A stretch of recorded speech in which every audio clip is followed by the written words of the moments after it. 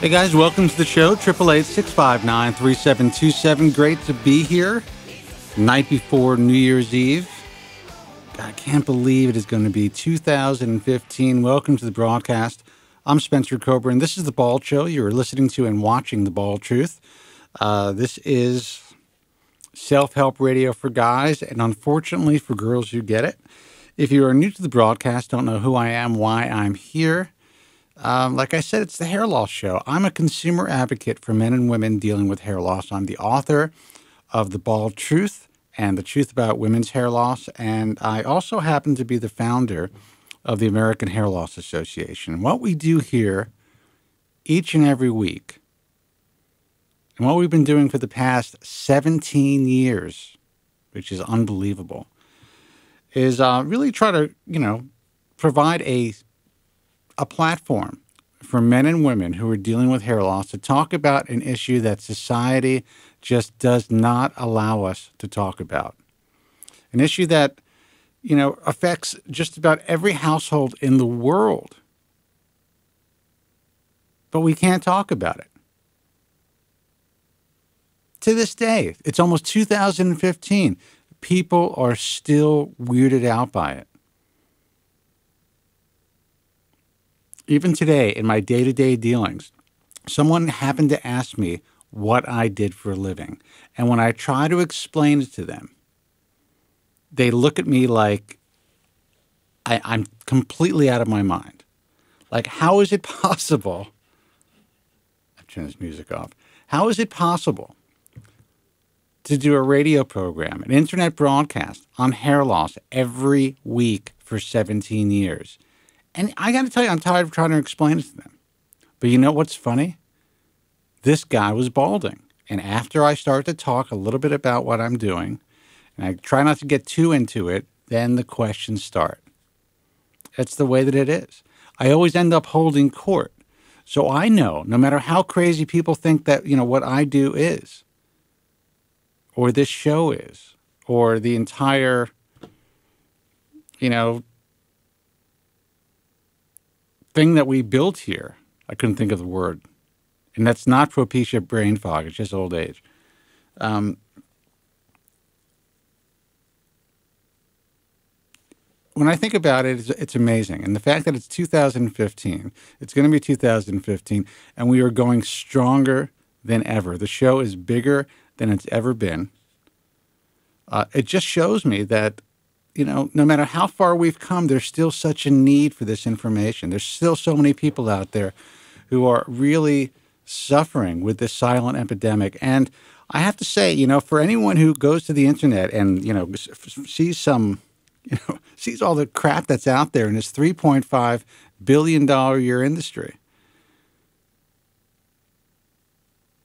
and is considering buying some ebook that some guy wrote in his basement or some product or service they heard advertised on the radio and then they go to their website. I wouldn't be here if these products and services and these books that, uh, you know, these guys who've uh, figured out the cure for hair loss in their parents' basement, I would not be here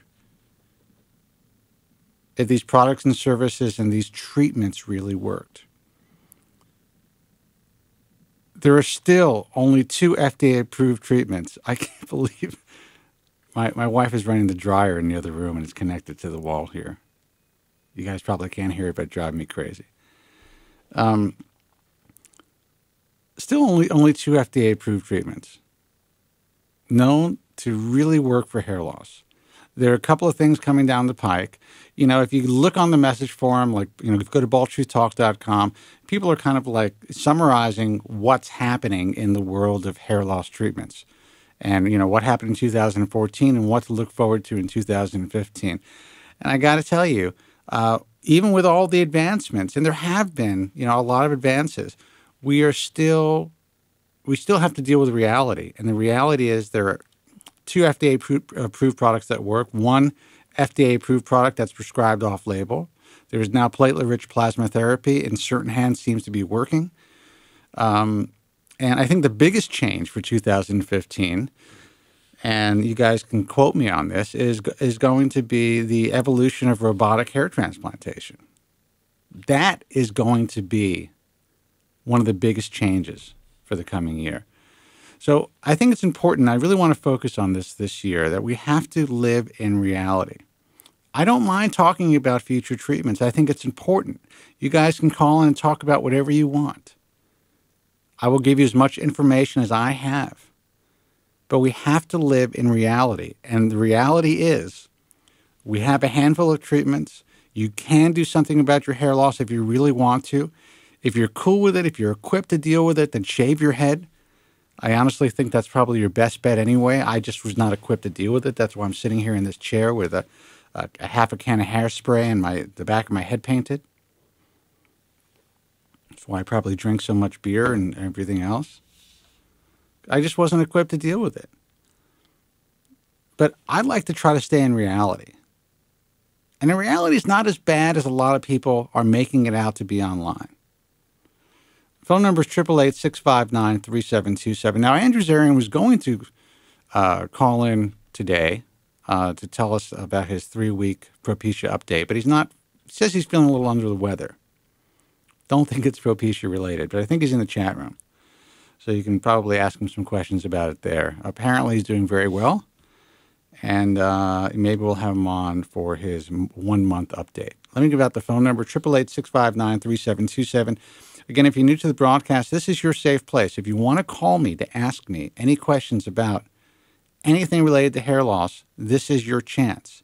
If you're considering surgery or if you're booked for surgery after the new year, you want to see if you made the right decision, this is your chance. If you're about to pull the plug on a product or service and spend a whole bunch of money on something that's not FDA approved or maybe, you know, have an FDA approved product in it, but you saw advertised on television or in the back of a magazine or on the internet or on, on the radio, call me.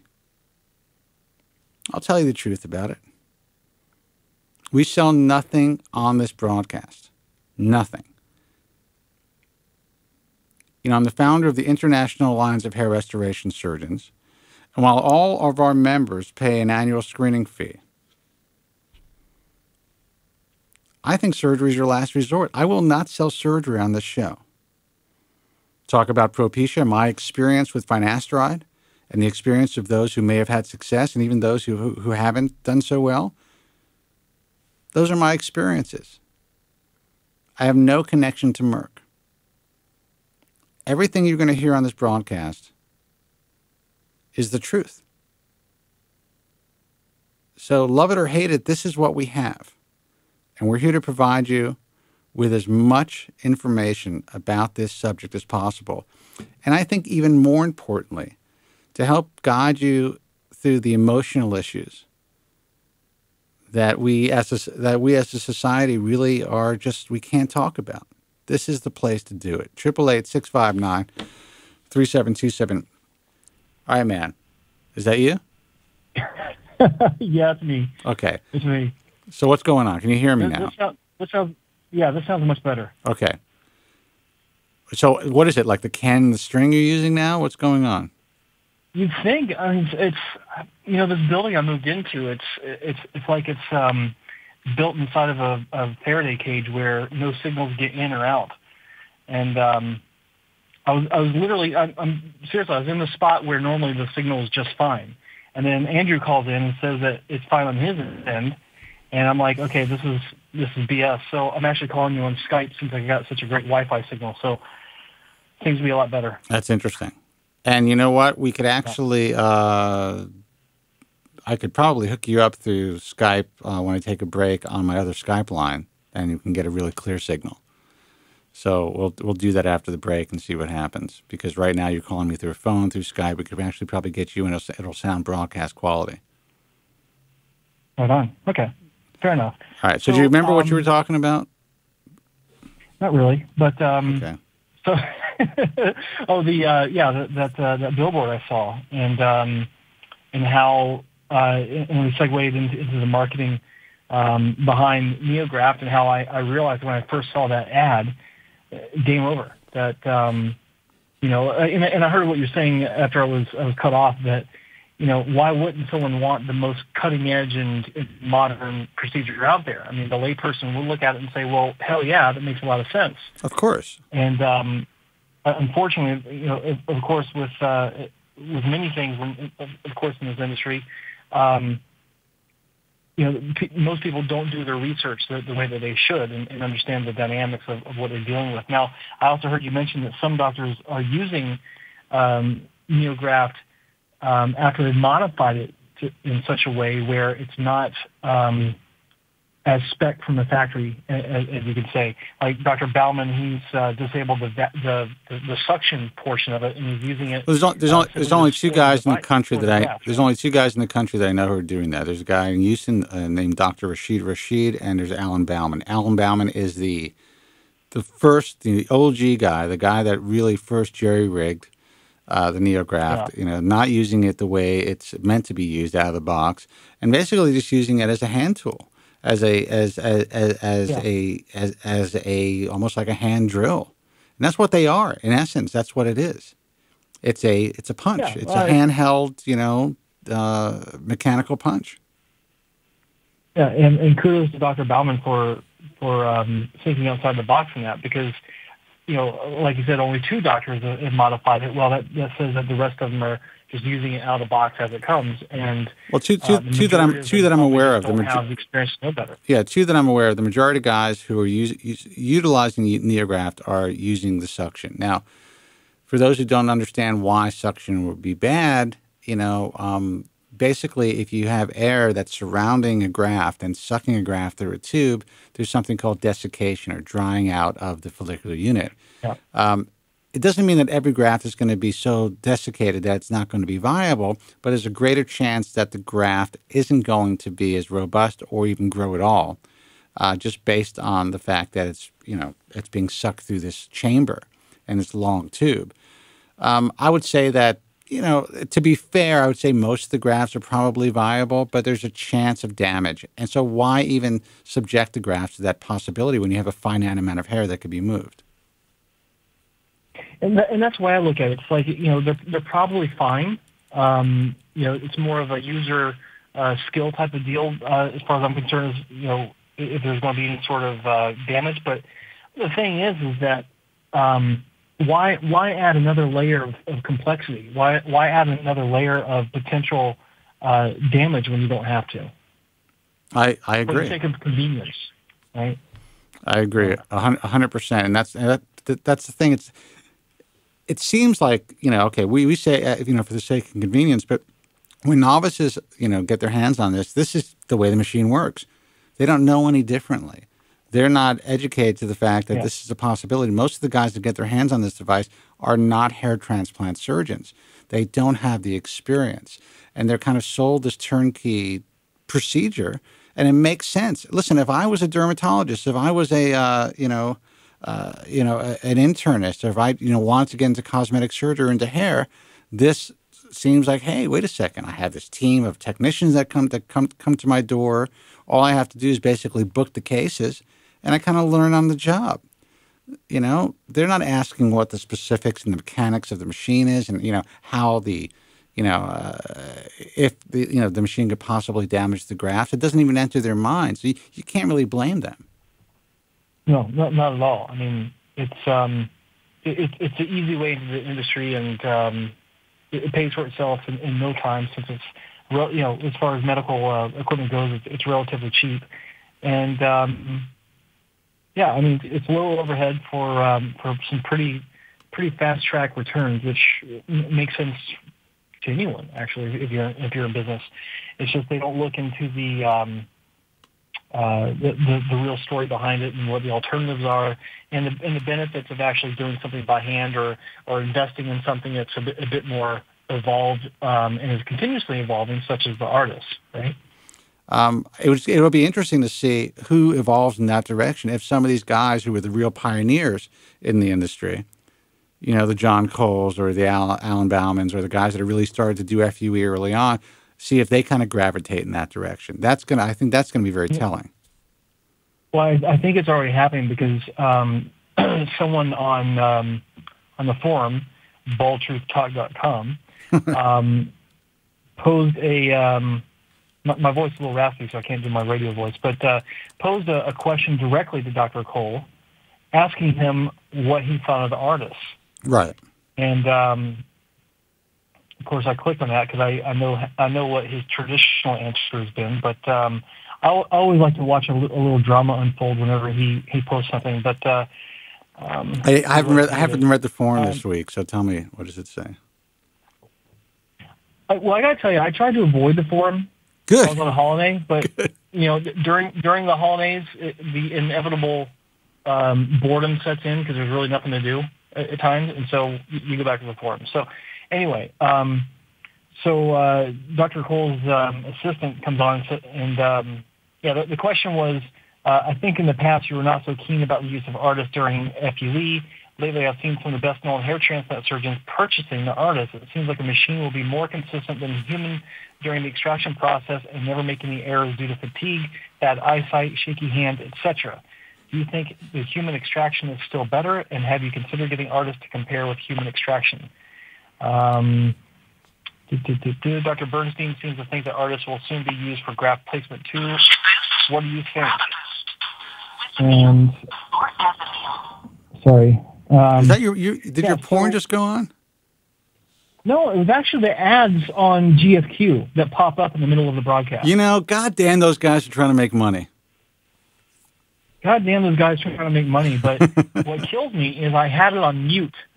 I actually muted it so that the sound wouldn't uh, come in, and it override overrode my mute. You know what you uh, need? option. You, need. Do You, you, you, uh, don't don't tell Andrew I'm telling you this, but you need to get an ad blocker. I didn't hear. I didn't hear- sorry, you're breaking up. Excuse me. Anyway, um, yeah. So um, the response was um, from Dr. Cole's assistant. It says Dr. Cole could best answer your question, of course. Well, yeah. Um, all I can say is Dr. Cole's opinion of the ARTAS is more favorable than it was last year. The ARTAS technology continues to improve. And this is interesting to me because what have you and I been talking about for the past Well, I I, don't know how many weeks. I can tell you. I months. can tell you why. And this is nothing against Dr. Cole. I'm glad Dr. Cole listens to the broadcast because I would I would certainly say since I started to talk about the ARTAS in the last few months, and since you and I have been talking about, it, and since I've been saying that I really believe that this is going to be, uh, you know, a huge part of the evolution of this field, I can't even tell you how many doctors have contacted me, and I can't even tell you how many guys in the IHRS have go- are going in that direction. And I'm not talking to them on the phone about it. A couple of guys I did, but you know, I'm hearing people talking about the show. There was a meeting in Italy. Apparently, people were talking about what I was saying on the program. Uh, I kind of got that through the grapevine.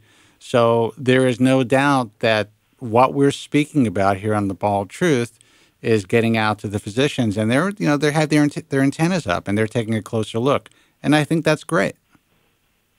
Yeah, yeah, and you know when, when they're taking a closer look, they can see, like I did, uh, and and like you did, that apparently these guys are serious. They they really want to improve this, and and they're they're throwing a lot um, a lot at this uh, at the development to to really make sure it's. Um, it's top of the game, and, and I like that. And and kudos to Dr. Cole. I mean, it's, it's not his official response, but kudos to him for recognizing and acknowledging if, if that's what he winds up doing, how how this is uh, how this is evolving. And like you said, 2015, there's going to be a lot of changes, and um, ARTAS and who knows what else is coming out. I mean, you know, ARTAS has made a huge impact. Um, but like with any industry, especially when it comes to some sort of manufacturing process where a robot or or some sort of device is, is made for whatever purpose, you're going to have your copycats that want to get on the game too. Well, So, and that's the thing, you know. Unfortunately, sometimes sometimes the pioneers take the biggest hits. Now, you know, hopefully, you know, uh, they're going to be able to kind of, you know, they're infiltrating the industry right now. And and what I like about the company is that they're willing to evolve. And I want to make it clear. and It's important that people know this. At this point, I have not gotten a dime from ARTAS or restoration robotics. Now, I'm not saying that at some point, you know, if, if, if since I like the, since I like the product, that's not that that won't be the case. But as of now, that is not the case, and I have been talking about them, um, actually to a lot of criticism, you know, getting a lot of criticism about it for you know for the last six months. but I'm seeing what's happening. You know, they're contacting me and they're like, "Hey, Spence, you know, we heard you talking about this, that, and the other thing on the show." Or they they read the forum and they want to know. The engineer contacts me. They kind of want to know what my thoughts are about how to evolve this in a better direction. Yeah. And they've listened to every idea. I've never dealt with a company like that. These companies don't give a shit. You know what they want to do? They want to pay me these, you know, I'm not going to say which companies, but companies come to me, they want to pay me a half a million dollars or a million dollars a year just to put my stamp of approval on it and to talk about them on the show and to get my doctors and everyone else to use their devices or their laser, you know, devices or whatever. Um, not one has ever said, "Hey, you know, what do you think about you know doing it this way, and how do you think we can make this better for consumers?" Never happened, and that's what was exciting about these it blows guys. me away. Yeah, it blows me away. Well, you know what? They're smart. They're not idiots. They kind of see the direction. They want they want to build a better mousetrap. You know, the technology is there to do it, so why not do it?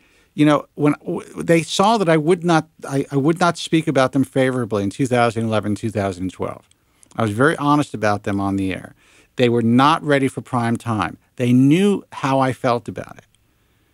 You know, and apparently yeah. that impacted them and I appreciate the fact that they kind of understand that you know I have my thumb on what the consumers are looking for. I understand, and I, I speak to the doctors all, all, the time.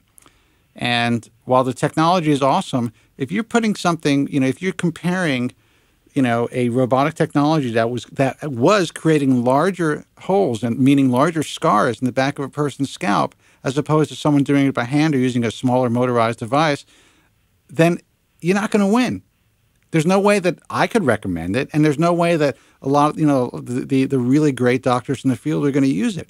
So you got to get better, and and they're doing that, and they're getting even better. So we'll see. You know, who knows? Like you said, there could be some you know some company in China right now that that has a better mousetrap that's going to come out in a couple of months, and all of a sudden we'll be talking about them. And yeah, I I wouldn't be surprised if that happens. Um, but uh, you know, while you're while you're talking, I, I just had a thought, and it, it's I think it's amazing how in, in today's day and age, you know, we, we talk about how um, in 2014 the, the hair transplant industry is um, in, in such a dark age um, situation compared to the rest of medicine. But when you think about it, and I think this is fantastic, you've actually got um, a, a, a shift away from uh, talking about such bad, horrible procedures that, that are being performed to today, you know, like the plugs and the really horrible strips and, and, and what have you, to now it's the, I think that the field overall has, has really started to improve because um, you, you've got pe- more people moving towards FUE. But I think that, you know, when you look at the forums especially, you see a lot less of the the really horrible, disfiguring um, horror stories than, than you used to say five years ago. Oh shit! It's it's completely changed. You still see some really bad work, but you know it's yeah. it's it's relative. It's relative. The bad work today is relative compared to what it was just five years ago, or eight, I'd say seven years ago. You know, when we started in this thing, when I started in this thing, it was really the Wild West. These young guys have no idea. These guys that are taking a stand online and saying that, you know, I remember just even two years ago, you know, about talking about the strip butchers and all that stuff. They have no idea what it was like. No clue. No clue. And it, is, it, the environment has completely shifted. This is what, what I want to do, Joe. I'm going to take a call. Um, I'm going to, after I take this call, I'm going to take a break. I'm going to see if you could hook up on my second Skype line, which I hooked up, and see if you, since you're using Skype, and see if I can get a clearer connection with you. Is that cool? Yeah, that's cool. Okay, so I'm going to, so let's hang up. I'm going to take this call. Okay. Um, you listen. I will text you the information, uh, and then you, you, if you could send me a friend request, I actually did, did text that to you. Okay. Uh, and we'll see if we could hook that up after the break. All right. Okay, sounds good. All right, dude. Thanks. Triple eight six five nine three seven two seven. Hey man, you're on the air. Who's this, and where are you calling from? Hey, it's Tim from Boston. Hey Tim, man, always always great to hear from you. How are you? Good. How are you? I'm not bad. I'm not bad. What's happening? Uh, I just had a, I had a few questions for you. Um, I was talking to my my father about hair transplants recently, and um, one of the questions I had was, you know, a lot of guys who, since a lot of guys are on finasteride now, when they come in, you know, six or seven years down the line after using finasteride, and they come in for a hair transplant, or at least for a consultation. I mean, how what at what point do you make a decision about how many grafts you should do and versus you know how much hair you're going to lose? And I know you said that you you know one of the reasons why you haven't gone in for a transplant is just because you fear of you know losing more hair, and then you know what if you can't cover the areas you want to cover? So it's well, that's exactly that's that's the that's the exact reason. I have been fortunate enough to save enough hair to dummy it up. And you know, worst case scenario, and I've spoken about this. I have worn like you know small partial hair systems and you know, whatever it takes. Like if I if I if I know that I'm going to be like on camera, on television, not Mm-hmm. not the camera that I'm on. Uh, there have been times when I just didn't think the paint was enough, so I'd put something Mm-hmm. back there. I have no problem talking about that, and no problem. You know, this is this is my reality. But for me to go in, even though I am a great candidate for surgery, and to risk the possibility of shock loss, and also to utilize those grafts in what I wouldn't think would be the most cosmetically important area of my head, instead of saving them for the front in case I need I, I need to reinforce my hairline someday, it would be a waste. You know, I understand the reality of it. But you feel uh, like since you've been on the drug, the the progression has mostly been at the front of the the hairline, and therefore you feel like if you go and you do the back, then it could continue to progress in the front. Is that what you're saying? Or No, what I'm what I'm saying is currently I have enough in the front and in the mid anterior scalp where I feel Mm-hmm. relatively comfortable. I can make it, I can dummy it up and make it look pretty good. Um, Mm-hmm.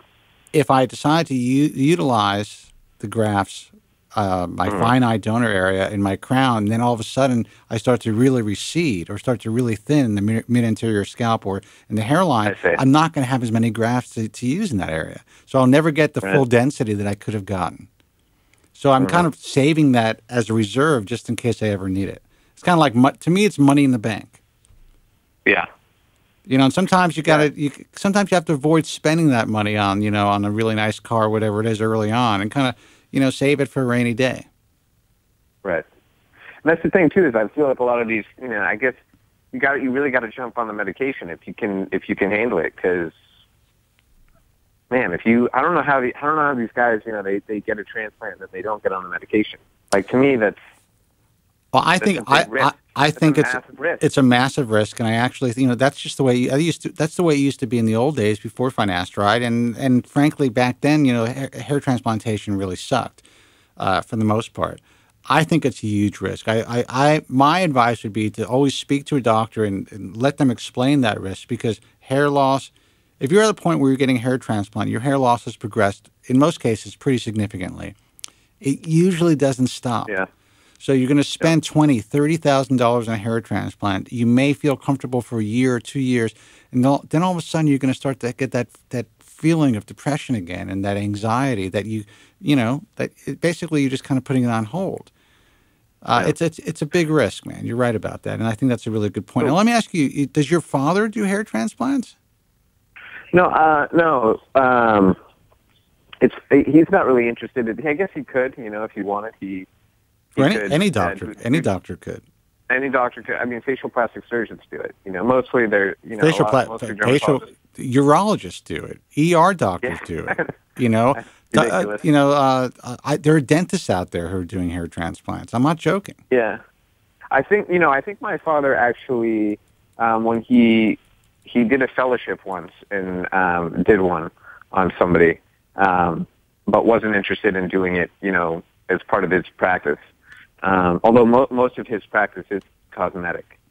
Um, Well, if your dad ever wants to get into it, I'll, I'll I'll tell him how to train and where to go, and he'll make a fortune if he's good. If he's good, I know. yeah. But uh, we do know, you know, people in the area. Like, for example, my father. Uh, I actually live in the Boston area, but my father, uh, he used to travel to uh, Western Connecticut once a week, Yeah. um, uh, where a physician's assistant had a, an office out there, and he was the, the prescribing physician on the on the uh, in the practice. But um, Scott Bowden is pretty close to there. Sure, I know Scott And- very well. Yeah, and he used to be an ER doctor. I actually had a consultation with him, and he told me he used to be an ER doctor. So yeah, and Scott's a conservative guy. He's really good, nice guy, and I can tell you that he probably, yeah. you know, I, I forgot your, your, I know I think you told me about your consultation, but he definitely was He's a great. probably straight shooter. Yeah, he was really good. I actually had one before that where I felt like the guy who's not a very well known guy, um, but I just didn't feel like he was yeah, this guy Scott Bowden is, and and you can just see the work he does is really is really good. I don't know if he uses ARTAS though, which is sort of interesting. He's I, I don't he, even. he's actually robot, he, he, yeah, it's a robot. He's actually um, well, I'm, I'm not going to say what he's considering because I'm not I'm not 100 percent sure, but most of the guys that are really at the top of their game are not now starting to consider going in that direction to at least do the heavy lifting. Um, there are some guys who are resistant, but it's it's really because Yeah. you know now ARTAS has really gotten the smaller punch down. Uh, but there are limitations with the ARTAS. I this is what I think, and I think it's really important that people know this. I really think that the ARTAS is going to work best in the hands and in the practice of a skilled practitioner and someone who has a really good staff. Because it's one thing, it's great. Let the ARTAS do the heavy lifting. Let the ARTAS do a lot, you know, a lot of the procedure. But people still have to understand the nuances of hair transplantation, and they also have to know how to go in there and cherry pick uh, grafts by hand because there's certain areas of the scalp that the ARTAS just at this point can't get to. All right. Well, thanks for the points. Yeah, I guess I was just sort of curious about those things. Yeah, but what you, you But actually st- you started off talking about the how do you know the number of grafts to have? I wasn't really sure of the question. Oh well, I was just yeah. I mean, I guess my thing is is like you know if if you're like for example, uh, in, I'm 26 now, and in a half a year I'll be 27. 27. Um, but you know, I probably wouldn't even con- if I were to even do it. You know, I probably I'd probably shave my head. But if, if I were to consider doing it, I probably would wait until my you know, you know, early thir- mid 30s maybe. You know, Yeah, Um, and that's smart but at but at that because by point, by the like- earlier mid thirties, you may not even want it. Your t- Right, your life can be completely different. But I guess the uh, the concern I would have is how many grafts do you get now? You know, it's like I, I would almost want to do, you know, maybe, you know, I wouldn't want to go in and do this super procedure. I feel like because I don't know how what the result is going to be. You know, so Well, here's I the, here's the good thing about FUE, you know, as opposed to strip. And again, I still think strip has its place. You know, at least you can go in there and you can have 500 grafts placed to see if you are a good healer, to see if you like the, you know, the procedure itself. You're really not going to come away. Yeah, you're going to be moving 500 grafts, but you're not going to come away with any noticeable damage. You'll always be able to shave your head in that case, uh, as long as the punch is small enough, and you'll kind of be able to kind of move, you know, uh, kind of step away from it if things aren't to your liking. So that's really, uh, I think that's an important factor for young guys who aren't 100% sure. You could even start with a, you could even start with it with a, you know, a test procedure. While the doctor's going to charge you more, you can say, you know what, I'd like to try 200 grafts. You know, put it in a uh, in an inconspicuous place, maybe in the mid interior scalp. I just kind of want to see how I heal and how the hairs grow, and that's an option with FUE as opposed to you know getting a strip of scalp Right. removed. Um, but you don't sound, you know, this. It's not a decision you can make. You don't have a crystal ball. You don't know how bald you're going to be when you're 33 years old. So it's really difficult for you to make a decision on how many grafts you're going to need. Um, I would say Yeah. if you cool with shaving your head now, and I think if I remember, I think that you're okay with it, even though you're on Propecia. yeah, I, yeah. Yeah. Correct me if I'm Still wrong. probably only like a Norwood. I'm probably only like a Norwood two, maybe. But Yeah, But, hon- yeah, honestly, shave you sound like a really together guy, and like the fact that you shave your head. I would probably not even consider having a transplant Consider it, yeah. you, we, that that means you're all in, dude. No matter what kind of Yeah. transplants you have, you're all in. And if you could sh- if you could shave your head, that's that's the best route. That's right. Yeah, I guess the other thing too is like it, the other thing too is I really don't know where I'm where I'm going to end up because uh you know I was looking at my so my my father has you know like a, like you know he has like a with Europe you know what I mean Yeah. and my brothers are my grandfathers on both sides and my brothers you know it's they don't have anything right so all I have to look at here is my maternal uncles Right. But then I look at my cousin, my first cousin uh, Matthew, who's on my father's side. You know, his father is bald, who's not related to me, but his uncle is my father, if that makes sense. It does make sense. And um, and so and his maternal grandfather is my paternal grandfather who was not bald. And my there's actually no baldness in my father's family. None. None of them. My uncle Jimmy, who was 90, had the hair of a 12 year old. Um, that sucks and for Matt- you. Yeah, and Matt's Matt's thinning. You know, he's in his 40s. He's a lot older than me. Yeah. but he's he's he's significantly thin. Not not even in a classic male pattern way, sort of diffusely throughout the top of his head. Yeah. But you know, but you know, in, in a pattern. It's in a pattern. Sure. But I mean, what's interesting is that you know it. it so it's clearly, you know, here's somebody who has the exact opposite situation of me. My my cousin is in the exact opposite situation where his his mother's side it doesn't have it at all, and his father's side is very bald, and my side the the mother's side is very bald, and the father's side isn't at all. And so it's interesting to see that you know it's clearly polygenic. Yeah, well, and you're right about uh, uh, obviously, and that this is what you do. You you're you're in, you're in the sciences now, right? That's what you're studying. Yeah, well, yes. So, I mean, one the one thing they say is that they they know that there's something on the the X chromosome that seems to be highly correlated with it. But some people draw this gene and they never have any hair loss. Right. So, so how it's like the, what they call the androgen receptor. So basically, what they're saying is men who have this gene who are what they they don't even know for sure, but they're pretty sure that their follicles are well. They know that the the cause of male pattern baldness is that the follicles are more sensitive, but they're pinpointing it on this specific gene, which is on the X chromosome. Right. But some guys draw this gene, and they never lose their hair. Yeah. So That's I mean, amazing. it's probably the it's probably the gene I have, but there has to be other genes at, at play that are interacting, uh, sort of uh, synergistically with this gene. Well, are- and that are and and, that, and that's and that's the whole thing, and that's why you know uh, people like Angela Christiano and and and other people who are other scientists who are researching this. They know that yeah, obviously DHT, D, you know, it plays a, a major role in male pattern baldness.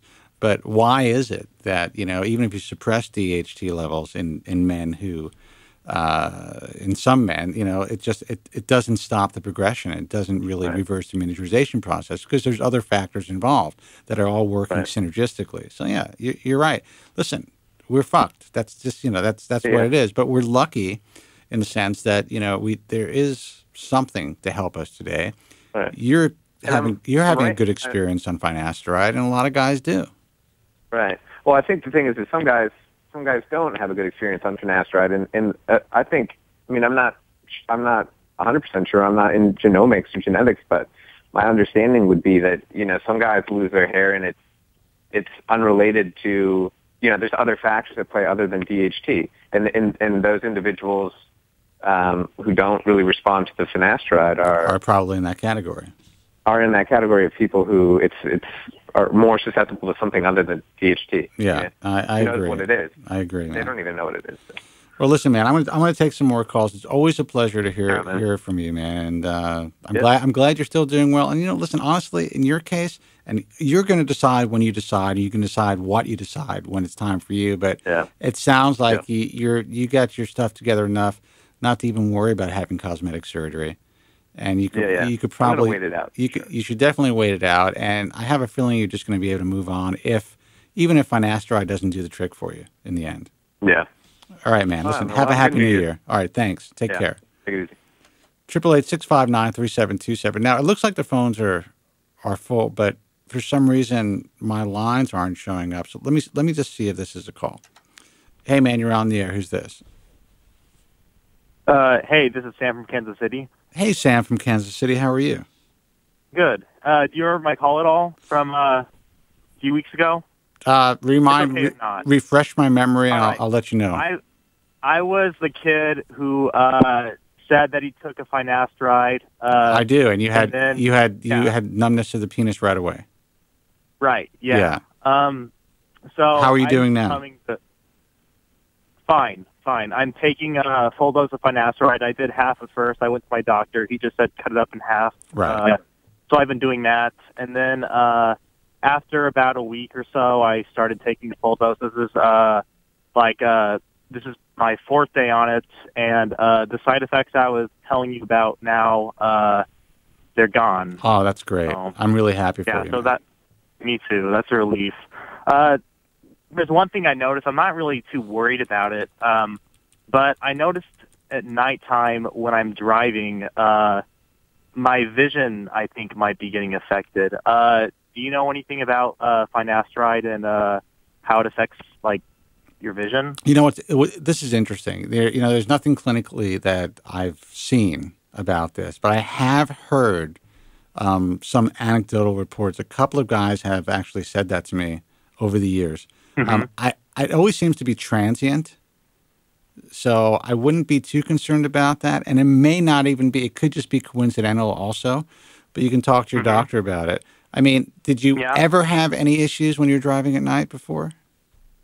Uh, no. Um, and frankly, I'm really not concerned about it. I mean, I was just curious. I read something that like, uh, it affects the way your pupils dilate, so that's why it only happens at night. But I just noticed, like the stop sign, like it has like a little, there's like a little blur beneath it, like like, like a halo. So, yeah, like a halo, like a halo underneath it. Yeah. Yeah, I have really heard. I have heard of that. Um, it's not very common, and you don't really see it clinically.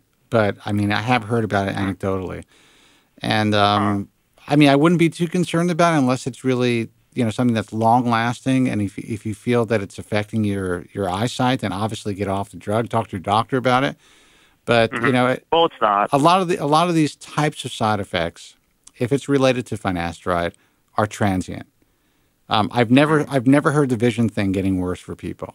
Uh, the only time it's been reported to me, or every time it's been reported to me, it's been reported and, and people have contacted me and said that it's gone away. So it's been transient.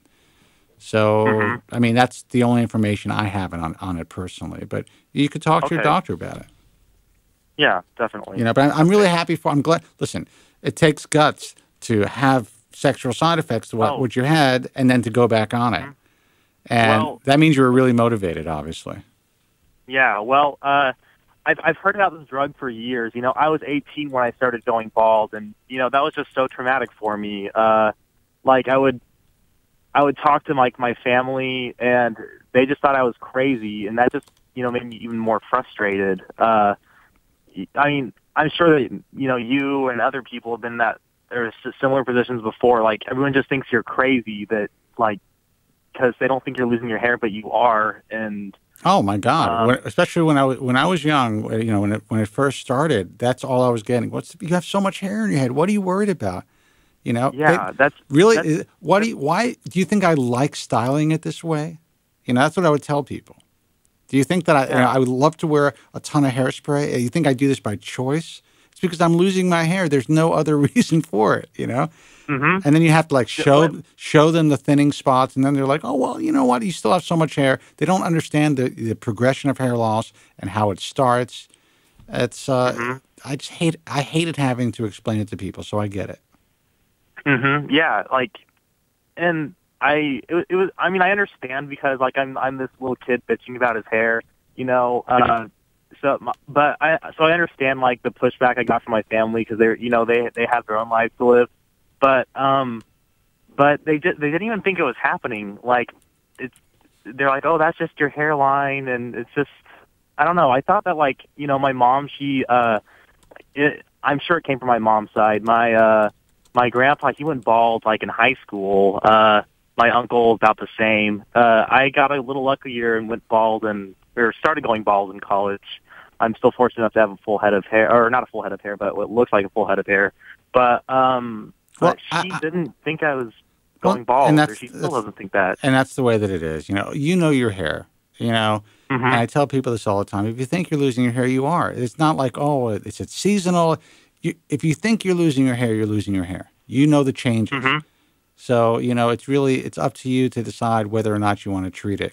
I'm glad yeah, that and, I'm glad that you you know got past the initial side effects, and I'm glad you know I would I would love you to continue to call in and and you know update people because there's a lot of young guys just like you. How old are you now?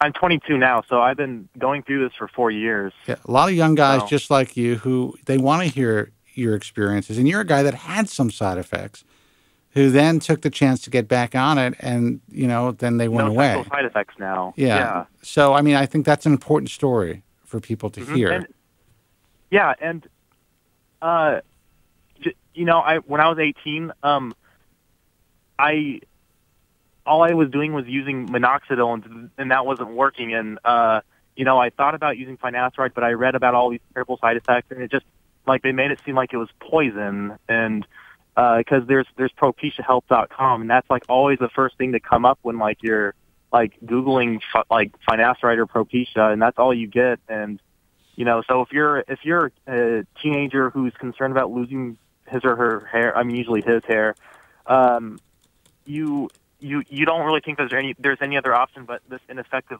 or it's not completely ineffective but marginally effective minoxidil.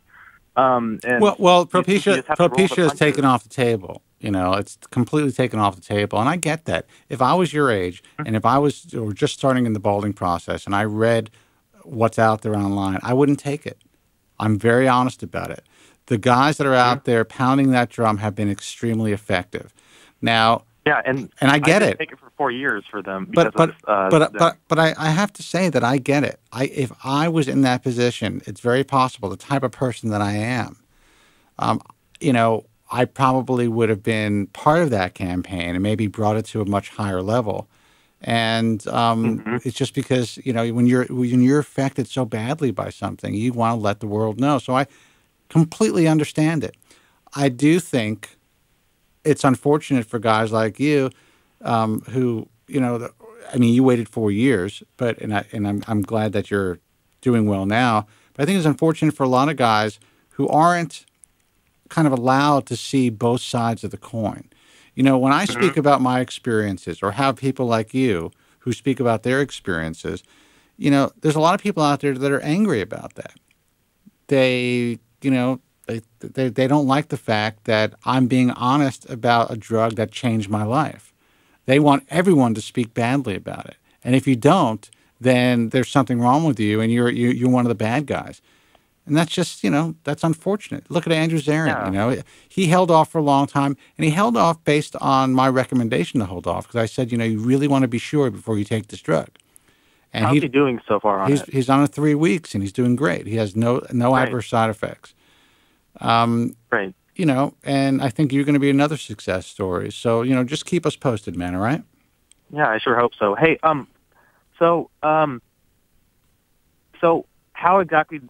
I mean, I, I've read about how it works, but like, so I've noticed that when I look in the when I look in the mirror lately, that like instead of I I was mainly just concerned about the receding hairline at first, but you know, taking this uh, finasteride kind of awakens like my uh, you know my habit of like looking at my hair again, and I and I noticed that uh, you kind of become hypersensitive. You're yeah, you're well, looking at it all the yeah. time, yeah. Mm-hmm. Exactly, and I just noticed that um, it's been thinning throughout uh, now. I mean, still everyone thinks I have a full head of hair, um, right? But um, but like I'll look at it at different angles, and I I noticed that there's miniatura- miniaturization like all throughout uh, my head. Right. So does does does it um does it does uh, finasteride stop uh does, does it simply stop uh, miniaturization or does it uh does it reverse it or does it uh or do the miniaturized hairs fall out and there's some chance that they come back in well full heads of hair or well here, here's the thing you know I mean the theory is and the thought and, and the way that it's been proven to work clinically and the way that it worked on me and other people is you know, it definitely reverses the miniaturization process if you are one of the guys it works for. Um, in my particular mm-hmm. case, I had a lot of miniaturized hair in the crown. I had actually was losing hair and miniaturizing on the sides of my scalp as well. That all reversed uh, within a few months. Actually, I was one of the lucky ones where I caught things in an anagen phase, and things really thickened up. So I can say from my own experience that there's no doubt that uh, it reverses the miniaturization process. Um, there are some guys who will kind of catch it where it'll push it into a telogen phase and that miniaturized hair will fall out. And then once it starts to cycle normally, it'll grow into a completely robust, you know, uh, full full blown hair and you know continue in a stronger anagen phase and live a longer life. So I would hmm. say that's really the process. It, it's it's a drug that can reverse the miniaturization process and uh, keep your hair in an anagen phase longer and just kind of help it to grow, you know, to cycle naturally. Now, I did lose some ground over the years. I have not kept a completely full head of hair by any means, and I've been on this drug for about 20 years. But Oh, so you've lost you lost hair while on the drug. I've still? lost very slow. I've lost ground very slowly over the years, and it's been Hmm. minimal at best. Most people would never notice, but I've had to, you know, wear a little bit more paint in the back, Mm-hmm. and um, but that's over a tw- course of twenty years. I started to lose my hair at twenty-one. I'm going to be fifty years old this year. Mm-hmm. And I- you still look like you have a full head of hair. I feel pretty mean, good. me. Yeah, I feel pretty good about it. You know, so Great. you know, um, I, I think that, listen, you're on the drug, just continue to do well on the drug. I wouldn't think about it too much. And if you Mm-hmm. are one of the guys that res- that's, a, that's a good responder, you're going to see the, the way the process works.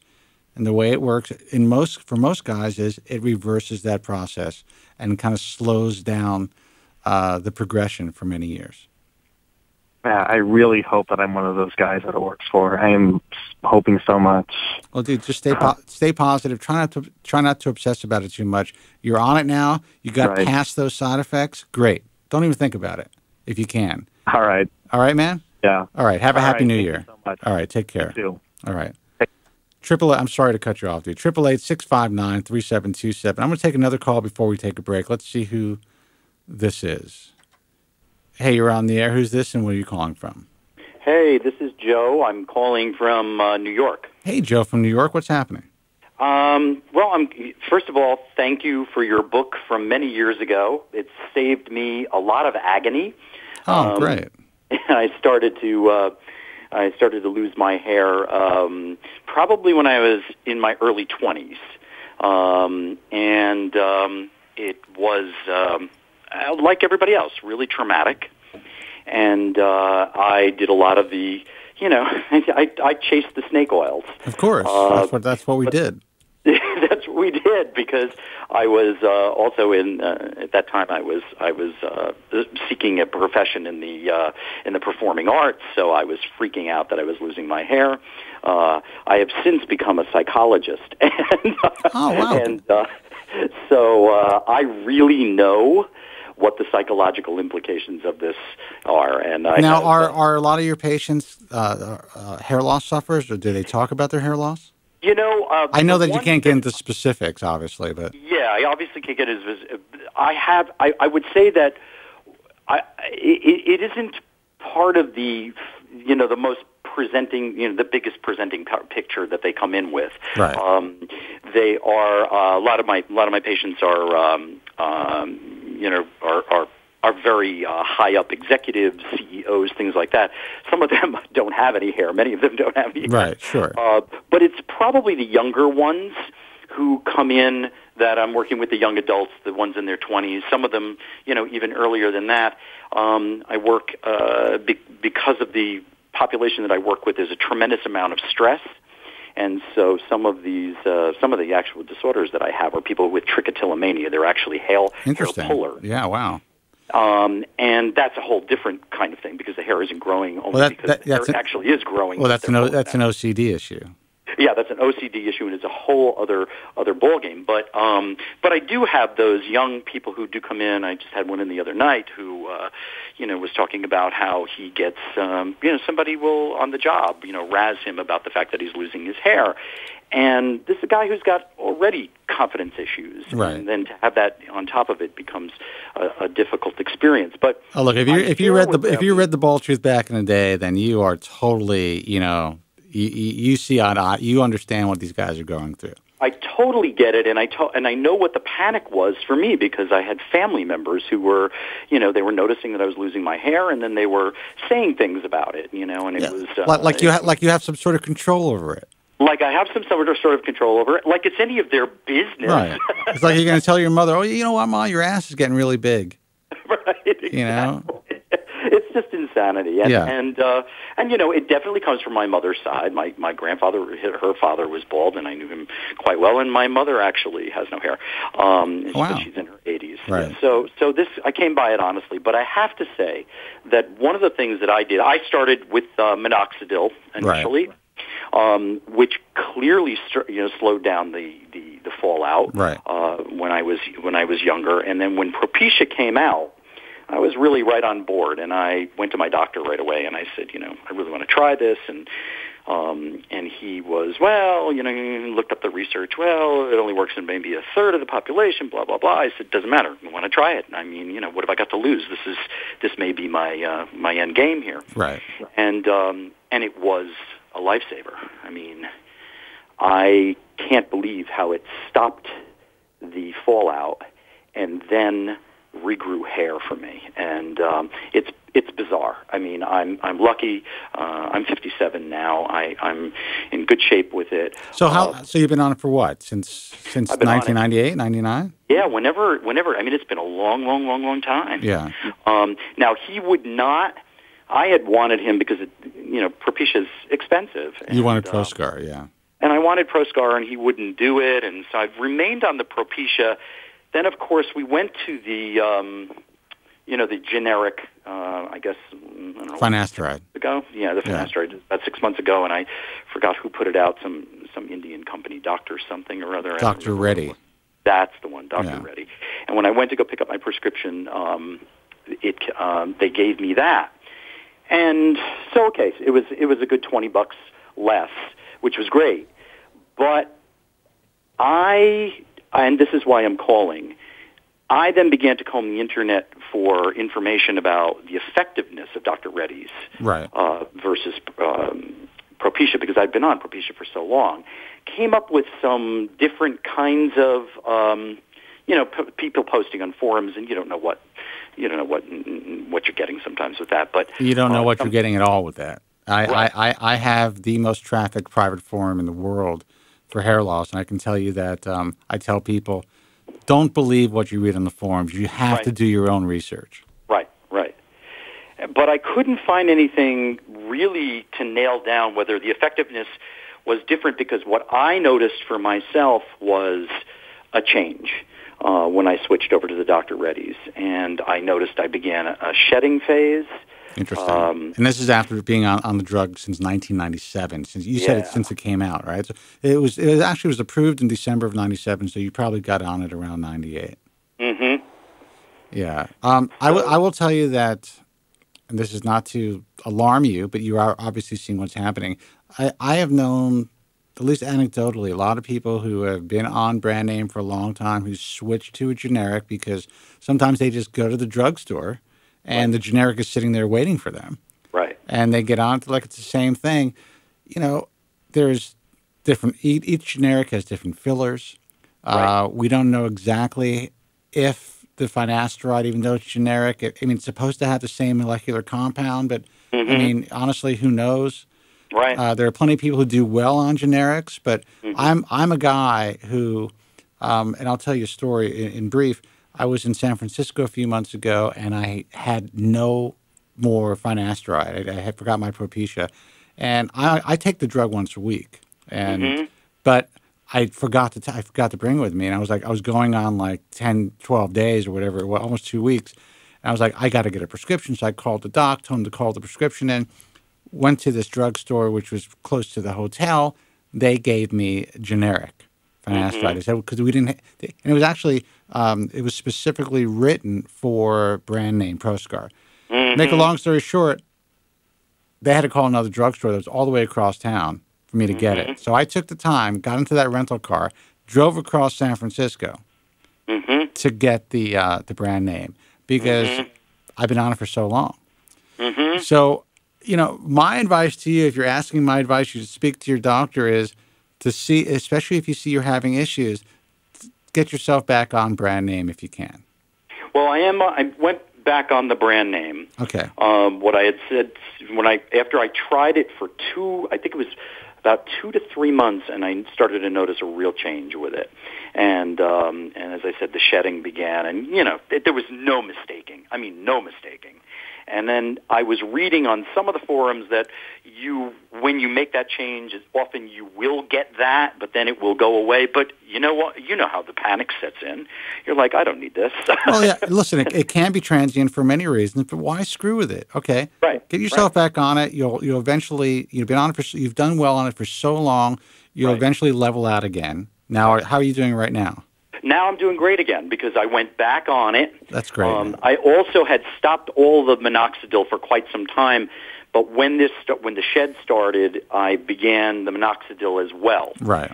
And then, uh, because I figured, let me hedge my bets here. Yeah, yeah. And I mean, this is the same kind of thing I do with my own patients. When you know, I, I know what goes on with generics. Some some people can take generic Prozac, and some people cannot take, take generic Prozac. They don't do as well on it. And, so and you know, and a lot of times each, each generic, is, many generics are different. You can get a generic from, say, uh, uh, Teva Pharma, Pharmaceuticals, you know, the Israeli pharmaceutical company, and then you can get it from, you know, some other, you know, Indian company. And there's the list of fillers are so different.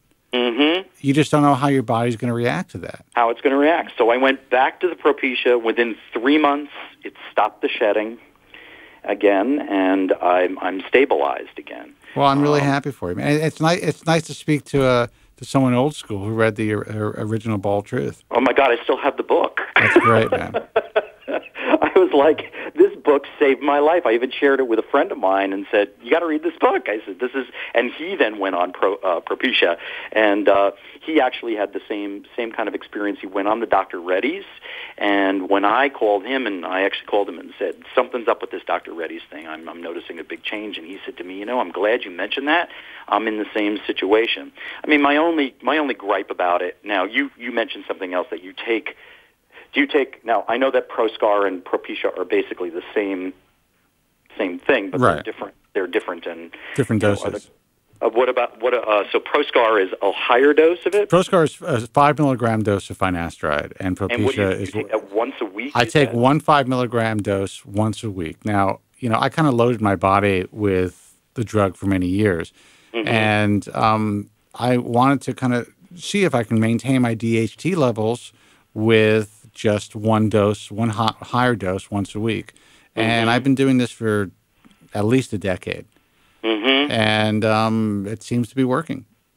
Because so. you know, I mean, occasionally I'll I'll miss a dose, you know, uh, but I but I basically I take the Propecia, you know, daily. Yeah, I'll take my dose tonight. Actually, uh, I, ta- I usually take it after the show, so or like the night of the show. And and cost wise, is there a is it considerably different than the Propecia? Uh, it's it's more. It's actually the pill itself is more expensive than the Propecia. Uh, there's a considerable difference, but most people will let quarter the five milligram dose and take that. You know, mm. so once you spread it out like that, it's much much much less expensive. Now you have to understand. I started taking five milligrams every day. That's how I started the drug. But, you know, when I was do, ah. when I was doing my research before uh, Propecia was approved, there was a five milligram dose of finasteride. Right, and, and that's because my doctor had talked about that, and, and I said, can I cut that up? Also, I, I said to him, if you pre- prescribe finasteride that way for me, my insurance plan will probably pay for it, but it won't pay for Propecia. That's correct. That's and correct. that's the, the pain in the neck. I mean, and look, it's a hundred bucks a month. I mean, it's not going to kill me, but yeah, um, it'd be nice to have. Well, I always you know? pay. I, I and to this day, even though I'm almost fifty, I still pay out of pocket for my Proscar because, in essence, it's it's insurance fraud. If I were to say that I'm taking Proscar. Right for you know for uh, you know right. it's basically prescribed for benign prostate hyperplasia. So exactly. so being in the public eye, I've obviously had to kind of go the straight route. But yeah, a lot of guys will get Proscar and they they'll charge their insurance. Mm-hmm. Well, you know, he he wasn't even going down that route with me. He said to me, "Look." And you know, he's a great doctor, but he and he said to me, "Look, here's the deal." He said, "If I could, I could do that." He said, "But here's the research," and he does his his his homework. He said the research is that this is this Propecia is designed in this one milligram tablet to do what it says it's going to do. That's right. If you're going to take this other stuff and you're going to cut it up, you don't know how, you're not cutting it up evenly. You're not going to get the same kind of you know effect. I don't think that it's going to be. I don't think it's meant for that. So I think you really should take what the pill is. Well, I think I think as a physician, that's a really reasonable uh, response, and I think he gave you a good explanation. You know, there mm-hmm. some theory and there's some thought that maybe the the actual drug, the active ingredient, finasteride, is not distributed evenly throughout the entire pill. Mm-hmm. Uh, so you may not be getting an even dose. Um, right. I, I, understand all that. Uh, mm-hmm. A lot of guys do very well quartering it, but what's the difference? It's a hundred bucks a month, so you don't go drinking, you know, one night. You know? I don't drink. So yeah, yeah. So no, so I, you know, I went, but I did go back on it, and uh, and so did my friend who uh, who. No, now, what made you call? You've been you've been you know a fan of the Bald Truth for a long time. What made you call the show tonight? You know what's so interesting? I had no idea that you had a show, and you did a um, you did a, a spot with uh, Ron Hoffman. Uh, I guess uh, I don't know, maybe a couple months ago. Oh, interesting. Yeah, yeah. And I listened to, I download his podcast. I used to listen to him on WOR out here, and uh, loved his stuff. I And he's a bright, bright guy. With Yeah, he's a smart guy. medicine. He's an amazing guy. Um, so I used to, you know, because I keep up with all of these kinds of things for my patients, because a lot of my people, especially when you're in this field, and I'm not an MD, I'm a PhD, so. Right. But I'm but I'm the person that they see every week uh, that gives the feedback to the MDs about medications. But a lot of my people don't like to take you know, necessarily start with psychotropic medications. So I have always been a real complementary medicine freak, and I stay up to date on those things. Well, I downloaded his pod. I downloaded his podcast now, and you were on um, uh, a couple months ago, and I, I said, "Oh my God, you've got a podcast," which I've now downloaded. But um, and then I, I I said, I, you know, I remember your book. I have your book. And then I had this question about the Propecia and the Dr. Reddy's because I had been concerned about it. And I thought, let me give this guy a call and see what his thoughts are about it. So, Well, listen, man. I'm glad. I'm glad you called. I'm glad that you just happened to uh, to download uh, that podcast with Dr. Hoffman. He's a great guy. I've known him for many years. Yeah. Uh, we. I, I start one of my flagship stations back in New York was WOR Radio, and he was on. Ah, W- there you WOR. go. And I think yeah. that's where I heard about your book. I think that's exactly where I heard about your book, and that's when I got it. that's great. So That's you're you're you're old school, man. That was a long And- time ago. Yeah, and and being in the field, I'm you know I am very you know when you've you've had a couple of people on, uh, I listened to your last couple of podcasts. So, you know, and the, the psychological implications of this. When I hear the distress in some of these young guys, especially, I think, wow, you know, they they can't. They also need to know what to say to people in these situations, and they need good feedback. And when I talk to my patients and say to them, I'll, I recommend your book, number one. Oh, thank you. And I also say to them, you know, you might want to consider, you know, taking Propecia. Um, and you know, this is this is an option for you. Or Well, let them let them know. You know, they, they need a safe place, and there's you know not a lot of places they can talk about it. They could always call the show. They can watch us, Absolutely. and you know, Absolutely. and be You're on my list to, to refer people to. All right, man. Well, listen, it's a real pleasure. Happy New Year. And Happy New Year to you, and and, I- thanks so much for your, uh, your information and for doing this service. That's You got great. it, man. And I'm really happy that you've done so well on finasteride for so long. Yeah, yeah, I, I, I am too. I'm very pleased. It's it's uh, gives me the confidence that I need. Well, So, uh, continued success. yeah, thanks All so right. much. You take care. Take care. Bye bye. Bye bye. Triple eight six five nine three seven two seven. Guys, I will get you phone calls in a minute, but I have to take a break. Um, if you're, you know, if you have questions, concerns about your hair loss, I could stay on a little bit longer tonight, if need be. I want to take as many calls as possible. This is the last show of 2014, uh, and we have a lot of talk, a lot to talk about, a lot of questions. A lot of guys are, you know, considering making, you know, a big decision about what they're going to do about their hair loss in 2015. A lot of guys are on the fence about surgical hair restoration or taking the Propecia plunge. Give us a call if you have those questions. 888-659-3727. I'm Spencer Kobren. you're listening to and watching The Bald Truth. Stay with us. The winner of seven prestigious Golden Forehead Awards. My family's always arguing. It always starts off innocent and then it gets vicious right away. So I was like, hey, looks like you're losing some hair. At least my wife's not a whore. Spencer David Kobren.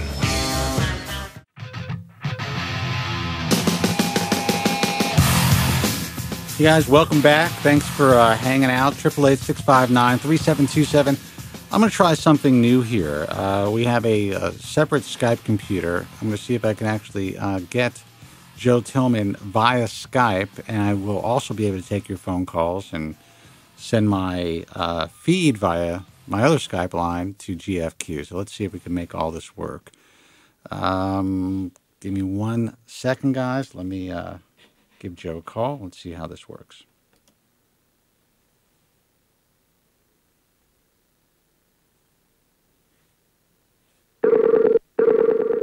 That should be it.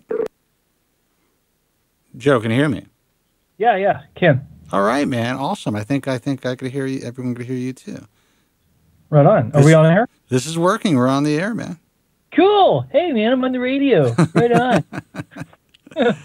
So sorry about that. I'm, I'm glad we're able to work this out. You know, we can do this from now on, actually, and uh, we'll I'll actually be able to use this once I, I I replace the video card on the second computer, you can actually Skype in through us, and we can then Skype to GFQ. So, as far Very as uh, cool. vi- video Skype as well.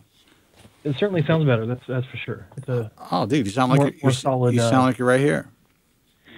and I feel like it too. You're It's good. welcome. Welcome. The beauty of Skype, man. So uh, obviously you're listening to the program. A lot of calls tonight. You know, it's interesting to get like a, a guy who's been. He never even knew I had a show, and he just picked up my book in 1998, and it changed his life. And you just now found out you had a show. Yeah, he actually. I was on the Dr. Ronald Hoffman show a couple of weeks ago, and I guess he's a fan of Ron Hoffman, and he heard me, and he's like, "Oh my God, I have this guy's book. I have a question." And I don't right know. on. I don't know. You probably weren't listening, but he's a guy. He's on Propecia for you know since 1998.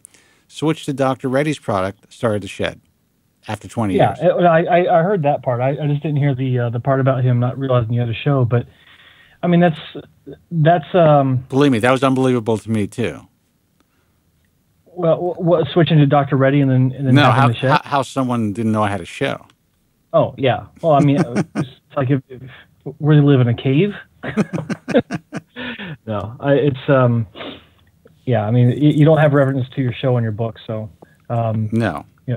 Who knows? But uh, anyway, no, it's uh, it, it's it's a story that you know I, I've been hearing um, for quite a while, and uh, and I, I know you you've heard the same story, and um, I had I hadn't heard it from Dr. Reddy's product, but um, I, I'd heard it you know from multiple sources of the generics. Um, some guys sometimes guys don't even know um, which brand it is; they just know it's generic because it says finasteride on the box. So it's there's no rhyme or reason to it. Sometimes it works, sometimes it doesn't. Absolutely, and, yeah. um, n- No one really knows why. I know, I know, but it is what it is, and I, I tell people, you know, just if you've been on the drug for so many years, I know that when you go to the pharmacy, they're going to automatically give you this generic finasteride now. Ask for the brand name, and if they won't give it to you, all you do is have to call your doctor and make sure he prescribes brand only, Right. and your Right, and- your insurance will take care. Well, your insurance won't take care of it because it's Propecia, but they'll prescribe it or they'll they'll give it to you. I, I, was actually speaking to a, a, a young man um, in New York a, a few weeks By ago. By the way, did you, did, did you just do something to your sound? Because now you sound great. I uh, I turned off my, my Bluetooth headset. That's exact. now it doesn't sound like you're talking through a tube. yeah, I, I well I did that because some of the guys online um, were saying that it sounded like I was um, talking through a hose or that I was in a bathtub. Yeah. yeah. Now, while I may be in a bathtub anyway, it doesn't mean I have to sound like it. Joe, Joe sounds like he's talking through the ARTAS. That is just wrong. Oh come on, talking through the new ARTAS. The art- That's good. That's good. Anyway, um, what was I talking about? I have The, no uh, idea. I. I never listened to you. I, and and I don't listen to you, but you know, know. it's just the, the the the blobbing around just sounds good. Yeah, well, that's, that's how we do it. Uh, That's how we do it. we're That's how talking about talking about Dr. Reddy's. uh, I'm going to take a couple, yeah. couple of phone calls, but listen, I, I've actually heard some good things about Dr. Reddy's product. So this is not the Yeah, bash. I, I had two. This is not the bash Reddy's product. Um, just it just happens. It just happens. So to me, it's like if it ain't broke, don't you know, don't fix it. There's no re- if you're gonna just to save a couple of bucks.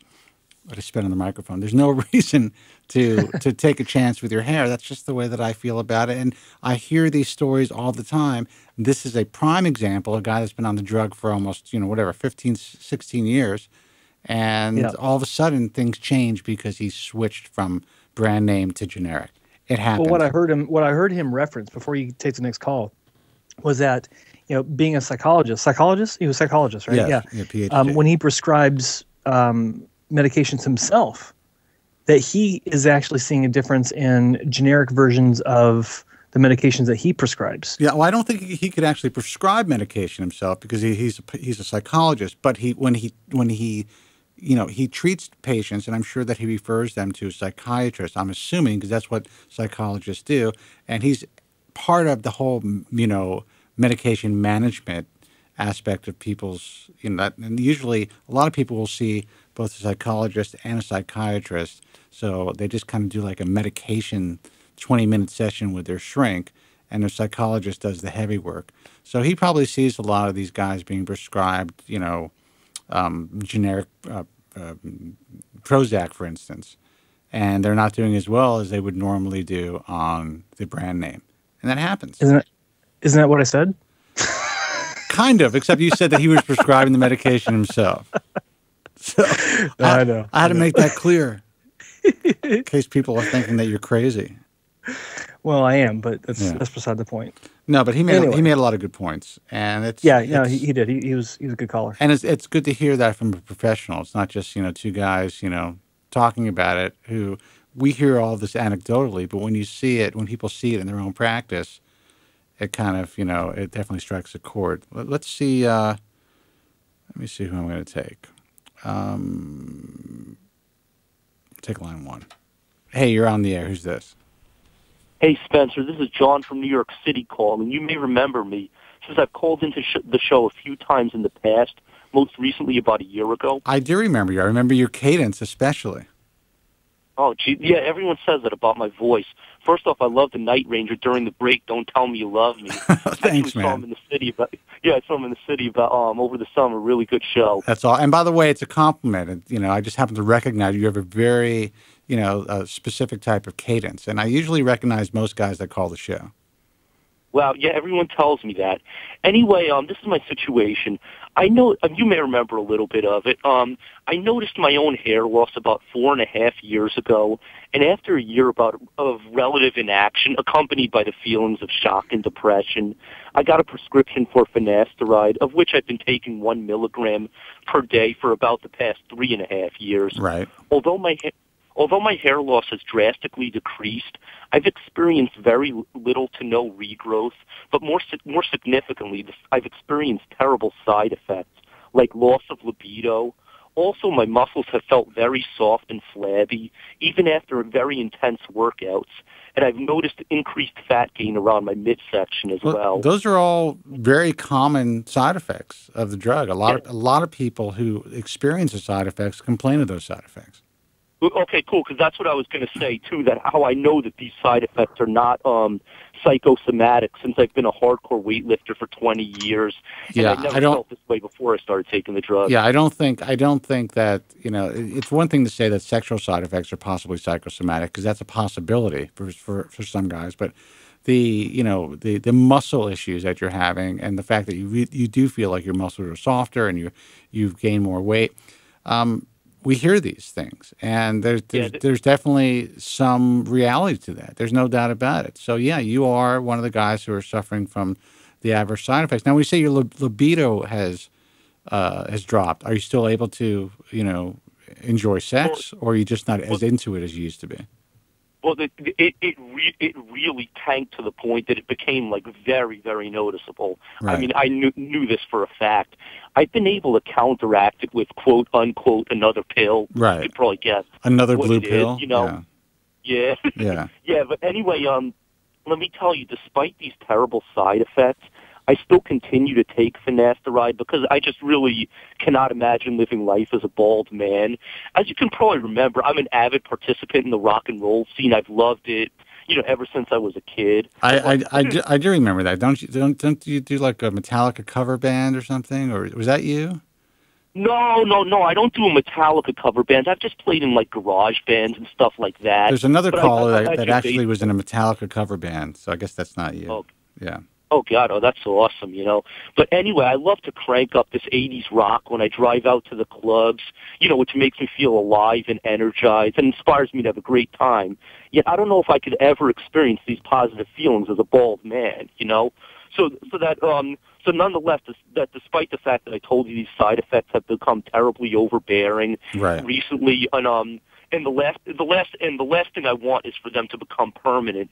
Therefore, I think I may have to re- very reluctantly force myself to stop taking finasteride as soon as next month, just because these side effects are really becoming overbearing. Well, you know, th- this is what I this is what I would do if I were you, and you should talk to your doctor about this because I'm not giving you medical advice because I'm not a physician. But um, wean off the drug if you're going to stop taking the drug.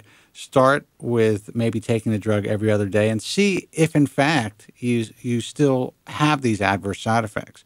It's very po- it's very possible that you can kind of, um, you know, ki- kind of lower the incidence of, of your personal side effects I can't think tonight by lessening the dosage, and still and still have the same uh, benefits. You've been on the drug for three and a half years, so it's very possible that you can kind of do intermittent therapy, maintain your DHT levels without having the same adverse side effects.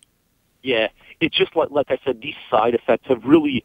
I, I think a lesser person, you know, a person who really didn't give a shit about their hair as much as I do would have gone off the drug like a long time ago. Yeah. But you know, like I said, just like I am being into the rock and roll scene as much as I am, you know, hair is so integral. But anyway, this brings me to my question that I'm going to ask you. Um, it often boggles my mind how certain people have zero side effects while taking finasteride, while others, like myself and several of my friends, have had terrible side effects. Sure. So I, my question is kind of two pronged. Um, I was wondering if you knew of any doctor that could give me advice on perhaps minimizing or eliminating these side effects, or maybe like um, a medication or supplement that I, that I could take to counteract these side effects. Well, those are those are good questions. Uh, there are doctors out there, and you know, guys who have been prescribing the drug for a long time that may have an idea as far as you know mitigating you know the issue and minimizing uh, the side effects the first line of attack, and again, I'm not a doctor, is they will tell you to lower your dosage to see how you do because you may still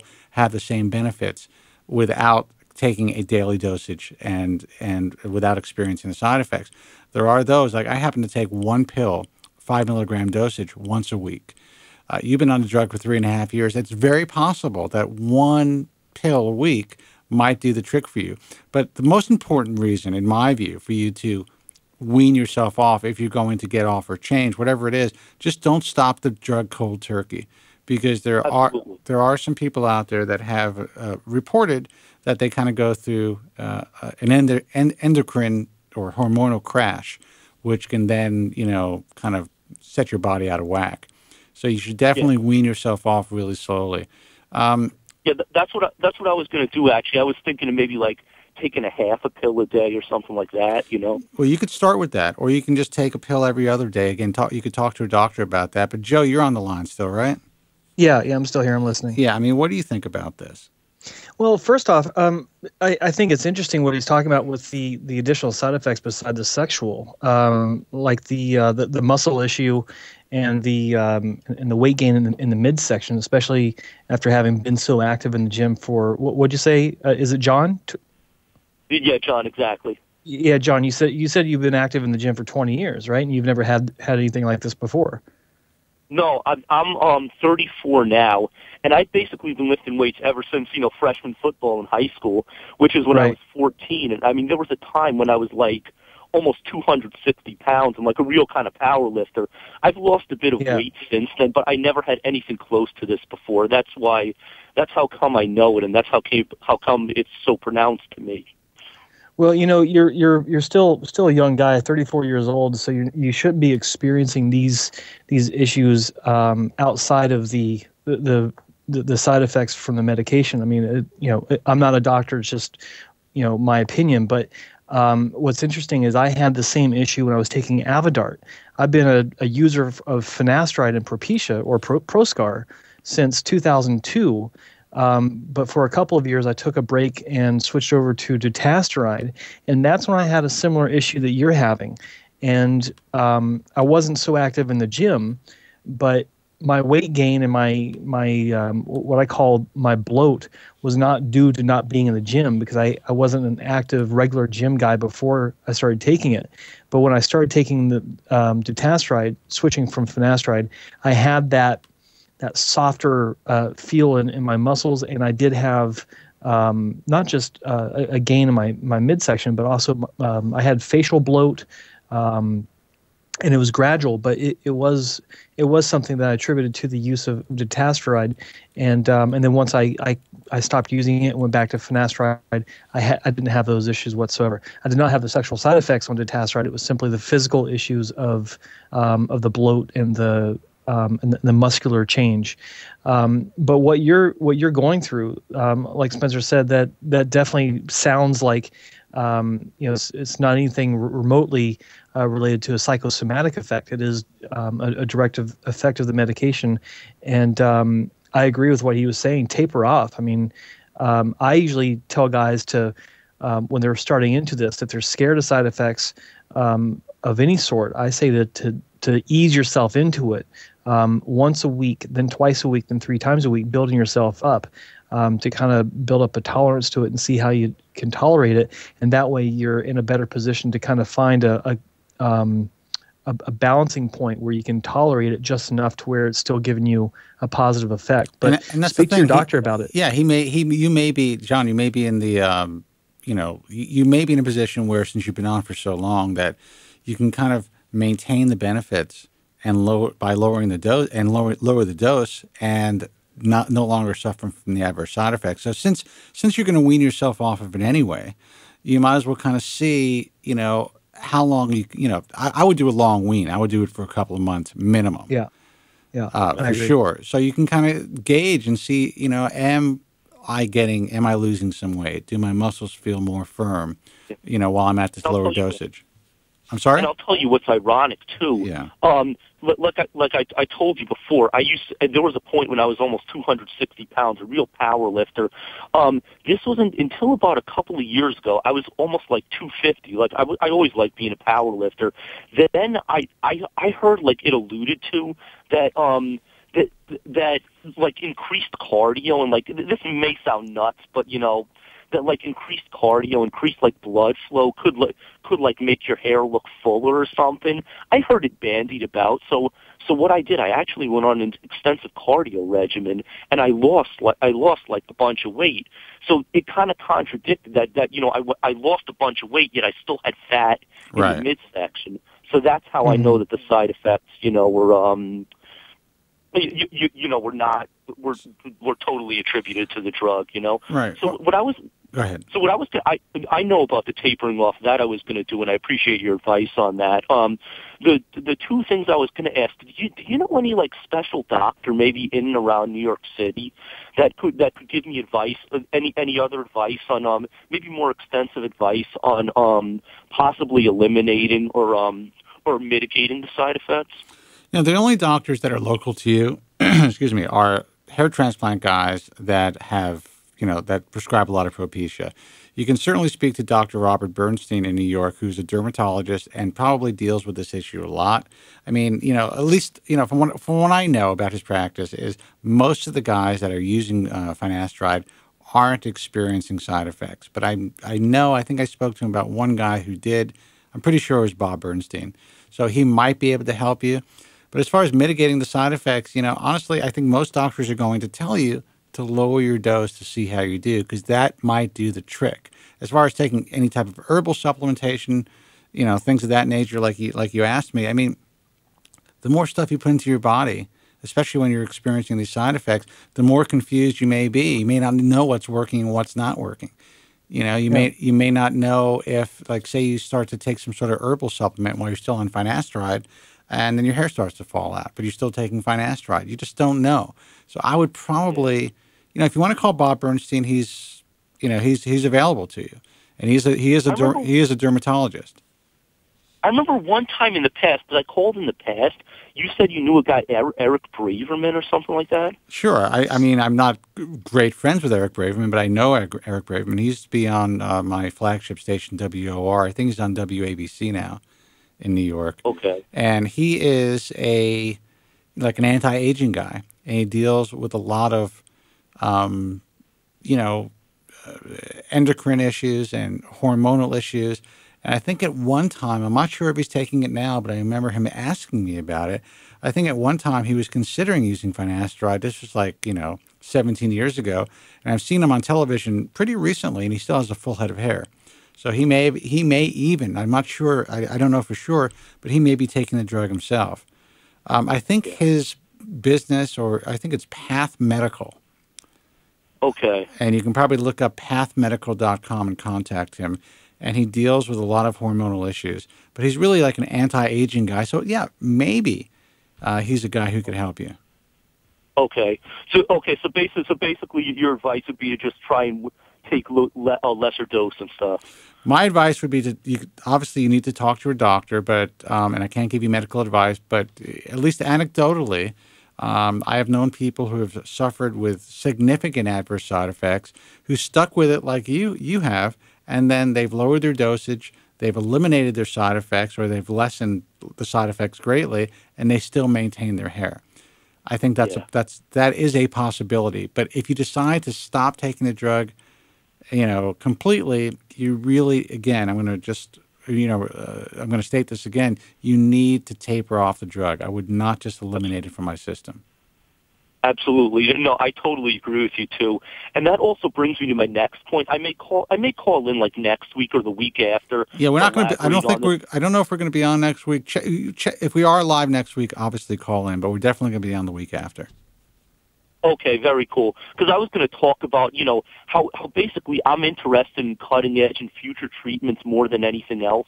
Because I believe a lot of t- treatments today are very limited and not not nearly as effective as we need them to be. I- and especially that really just don't appeal to the majority of I think. loss I think everybody agrees with you. All the hair loss sufferers out there, and our entire hair loss community agrees with you. So that would be a good conversation. So, um, you know, go to the ball, go to the baldtruth.com next week. See if we're live. There's there's a chance we will be, and if we are, call in. Okay. All right, and man. actually, one one last thing before I, one one last this will this will only take a minute before right. I forget. Um, I emailed you something, a cutting edge treatment. There was an Egyptian der- dermatologist. It was reported on in 2009 that she she uh, she um she did an experiment on eight children with alopecia areata. She um took a biopsy of the healthy follicle stem cells of their scalp, multiplied them in culture for about a month, and then re- re-injected them into the children's scalps. And a lot, the results were just totally out of this world. One kid grew a full head of hair, and and I think like five others had at least fifty percent hair growth. I actually remember And, that. um, I remember you speak. I, I think the last time we spoke was like in 2012, and I remember you sending that or saying that you were going to send it to me. I think that I got. I may have read it. To be honest with you, I don't remember, but I remember this conversation. Okay. The, the last thing I was just going to say too, a lot of I mentioned it to like a few other like prof- I've mentioned it to a few people and professionals in the hair restoration industry, industry, and a lot of them dismissed it, saying, "Oh, it's alopecia areata. It's not the same." And I, know the differences between that and androgenetic alopecia. Sure. But the method, the methodology of her experiment seems like it, it could totally work on people with androgenetic alopecia. Well, you know what? I I, mean, this I, wasn't- I, am I'm into it, and then you know what? Why don't you call me next week? We'll discuss it more. Um, I, I, you know? I will look for that email. Do you? Well, you can't give me your email address. Why, why don't you send it what I- again? Well, Spencer, that's actually what I did a few hours. I just um right when I left work at five o'clock, I emailed you at um ball tr- the bald truth radio at gmail dot com. Okay. And I put the sub I put the subject in as something like stem cell stem cell cell uh, I can barely speak. stem cell study regrows hair, something like that. It's in your inbox. All right. Well, I'll, I'll, ask my staff this to. Uh, so it was stem cell study regrows hair. Yeah. All right. I'll, Yeah, I'll, I'll see if I can get it. yeah. All right, man. Well, listen, right, I'm going to let you go. Have a happy new year. Good luck with everything. Obviously, call us back. But you know, I mean, I do. I, I I'm a believer. If you lower your dose, you may experience less side effects, and it's something you should consider.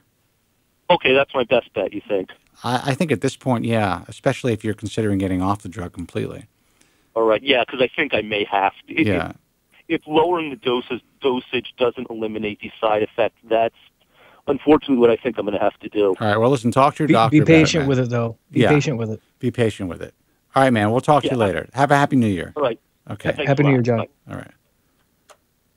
Triple eight six five nine three seven two seven. Nice guy. I remember. I remember that study that he talked about. I remember him calling, and this was like probably this was actually in the other house, so it's probably like 2011, 2012. Yeah, I, I remember. I remember his voice from from uh, from him calling him before. Did, did he say he called in a few weeks ago, or was it even longer? No, it wasn't a few weeks ago. He hasn't called in for like a couple He, of years. he's he's he sounds so familiar. yeah. Just, just like you say, the cadence of the way he speaks, and um, and of course his accent. But No, I rec- I recognized him right away. yeah, Very nice guy. It sucks. I hate hearing guys who who are dealing with these side effects. of course. You I mean, know? uh, no one no one wants to no one wants to to go through that, of course. And it's you know is basically the only thing out there that's really worth uh, taking if if you don't have the side effects. And so when Yeah. when I hear about the them having side effects, it's just kind of a oh, it's just a big bummer. No, but I, I- I hate it. But it's also really important. Not that I obviously I don't want anyone to have side effects, but it's important that these guys Yeah. call in just like the guys who call in about their positive experiences, to talk about their negative experiences. There needs to be a balance. I agree. You know, it, agree. it is what it is. That's the drug. So let's take one more call. Hey, you're on the air. Who's this? Hi, Spencer. This is Joe from Boston. How are you? Hey, what's happening, man? Long time. Uh, not too much. I know. I'm just, uh, you know, listening to the show. Hi, Joe. How are you? Good, Joe. How are you? Good, thank you. Um, Spencer, I had um, talked to you once or twice before, and um, I was listening tonight, and I heard about the uh, Propecia and the Dr. Reddy's and all that stuff. Yes. And um, I just want, kind of wanted to give you a little update um, on my uh, experience and what I went through. But um, yeah, I had take yeah, I had taken Propecia, uh, name brand. Probably I'm 42 now. Um, probably when I was like 28, 29 years old, and I took it, you know, for a couple of years, and it did a lot of good for me. And um, my doctor put me on it. I had, you know, a few hair transplants in the past, and um, it was the best thing I ever did. But then, as I got older, I started researching stuff in here and stuff, and I went off the drug. And it was the worst thing I ever did because I Hmm. lost a lot of ground. And you- Even you- though I had the transplant, And you weren't having any Yeah. side effects. You just got off it because of what you read. just got off it because, from what I remember, yeah, I just think I was nervous of you know what I was reading, what I heard, and all this other stuff. I And understand. you know, I was that. in my early early thirties, and I said, "The hell with it." You know, I have all this new hair. I look great, so you know what? I, I'm going to go off it, and you know, I did, and like I said, I lost a lot of ground. Um, so over the years, my doctor was telling me you should go back on it, but I didn't listen to him, you know, because you think sometimes you're smarter than the doctor. But uh, Well, some sometimes you Anyways. are, but yeah, I mean, yeah. in this in this Yeah. case, maybe not. So, anyways, um, long story short, I actually ended up having another transplant um, almost almost two years ago, and uh, he did pretty much the crown area because my crown he never really touched in the past. Right. He did pretty much from like you know the hairline to the middle of the head, and um, so I just had the crown done, me you know a little less than two years ago. So with that, he really wanted me to go on Propecia again because my crown was large. It was a large crown, Mhm. and he only did around a thousand grafts, which probably isn't a lot. But he even told me, "Don't get your expectations, you know, too high." He said it's not going to be full, but it's what we can get from the strip. Um, so you know, he let me know pretty much it wasn't going to be full. Right. Um, but he said, I really want you on Propecia. So I said, okay. Now I went back on it, but it was Dr. Reddy's. Okay. Okay, I, I, I went for the Mhm. generic this time, trying to save a few bucks. Well, I went on it for about three or four months, and I think I had told you last time I talked to you, it made me extremely bloated. Okay, um, I just felt heavy. I felt like I was getting man boobs. Um, it just didn't feel right on it. Um, so I didn't like the way I looked, and I think it was starting to work though with my hair, sticking Right. it up. But I just didn't like the way I looked, so I went off it. And then about a couple of months later, I was in his office and I said, you know, I want the name brand. So he wrote me a prescription for the name brand. And you know what he told me? Because I was concerned about the side effects, what, what happened with Dr. Reddy's. He said, take one pill every other day. Right. So that's what mm-hmm. I've been doing for 14 months. And I'll tell you, it's, there's no side effects with the bloating, with the man boobs. Um, it's, you know, thickened my hair. It's gotten me back almost to where I was when I was taking it the first time, Oh, you know, in my great, early man. 30s. That's fantastic. Um, That's fantastic. Yeah, and you know, I just wanted to ask you guys. Um, I know you're not a doctor and all that, but and Joe could probably answer this too. Um, you know, I I asked him last time I saw him. I said, "Do you think I should maybe try to take it every day? Maybe I'll even get a little more than what I'm getting now." And he told me, he said, "You know what, Joe?" He said, "Don't mess it with anything that's working." He said, "Keep taking it just every other day." I, I think that's really sound advice. And the fact is, you know, you may not see that much of a benefit, if of any benefit at all, by upping the dosage. You know, it's obviously lowering your DHT levels enough where you're seeing progress. Most people don't actually see incredible results. They may see a, a cessation of hair loss. They may see some thickening of the hair.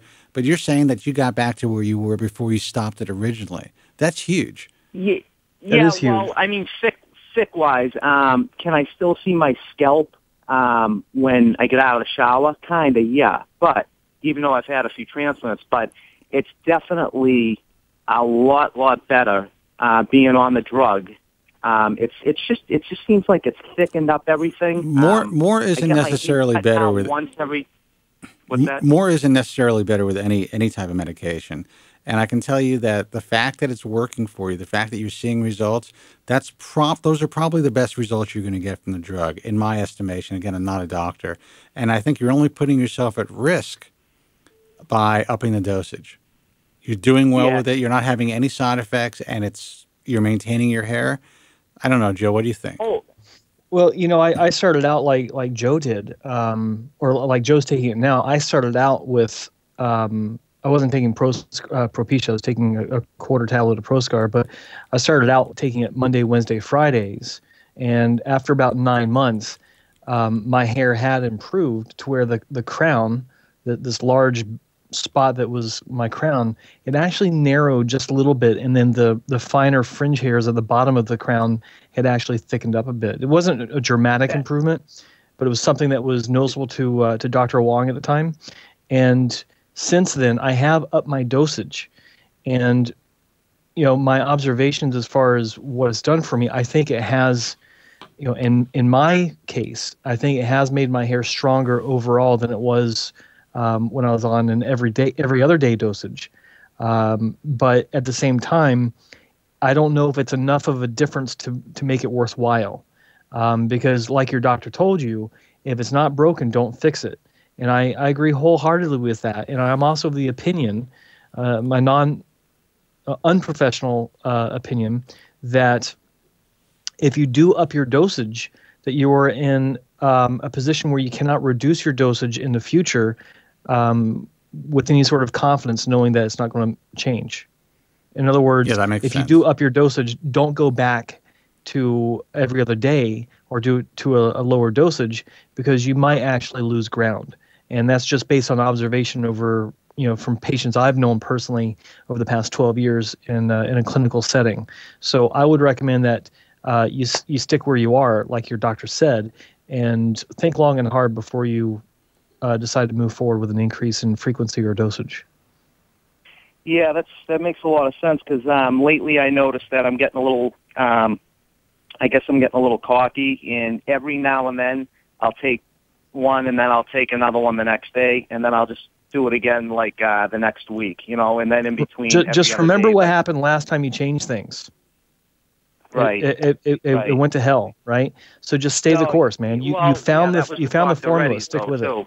You know, th- this is the way Right. the way that I feel about it is is this, and I think Joe makes a lot of sense. And like you know, it's it's difficult once you're at a, at a certain dosage. It's hard to go back down because all hell, you know, I mean, you could just end up going through a severe telogen effluvium. But Yeah. if you if you find that after a while you're not getting the same benefits from taking the dose uh, every other day, then you could up your dosage and give it a shot. But while it's sense. still working for you, while you're still experiencing the benefits, I just wouldn't mess with it. You know, keep that other pill in your back pocket. You could always use it later. Right, right. And my my point is too is that I really believe there is something with the um the fillers, like you said earlier, and the in and also the whatever it is, the inactive ingredients that you know why the the name brand works better for me than the generic. I don't know, but I don't care either because I get my Propecia at Costco and it's it's cheaper and Yeah. and I pay about two hundred and thirty eight dollars for a three month supply, which is actually lasting me six months now That's great. Yeah. obviously Yeah. taking it. And, you know, it's very affordable for me. Um, so I like the peace of mind that it's name brand. And um, it's funny because there's a doctor uh, that's on your list. Um, he strongly believes in it every other day, too, instead of every day. It's uh, Dr. Jerry Cooley. Yes. Mm-hmm. Yeah. Yeah, I was reading something, an article he wrote a few years ago, and he really, you know, believes strong about every other day. Um, I think he even puts his patients on it to to start with, just every other day. But Yeah, uh, and there's actually yeah, there, there's several doctors who feel the same way, and there's some guys like like like like like Joe. Uh, he started taking it. Uh, what did you take it three days a week? You said, Joe. Yeah, Monday, Wednesday, Friday. Yeah, Yeah, I wouldn't the- even take it on the weekends. Yeah, there are doctors who will prescribe it just three days a week to start, just to make sure that the patient can tolerate the drug well. right, right. So Um, I, I think I think you sound like you're in a much better position than you were when you stopped taking the drug. I find your story interesting because and it's it's it's more common than I think a lot of people realize. You know, you had no side effects. You had success with the drug. You were on a, on the drug for a few years, and then based on what you read on the internet, not on the internet, not based on your own experiences, but just based on the fear of reading what other people are, are posting about, you decided to stop the drug. And I think a lot of guys are starting to do that. There's actually a guy who's in the industry.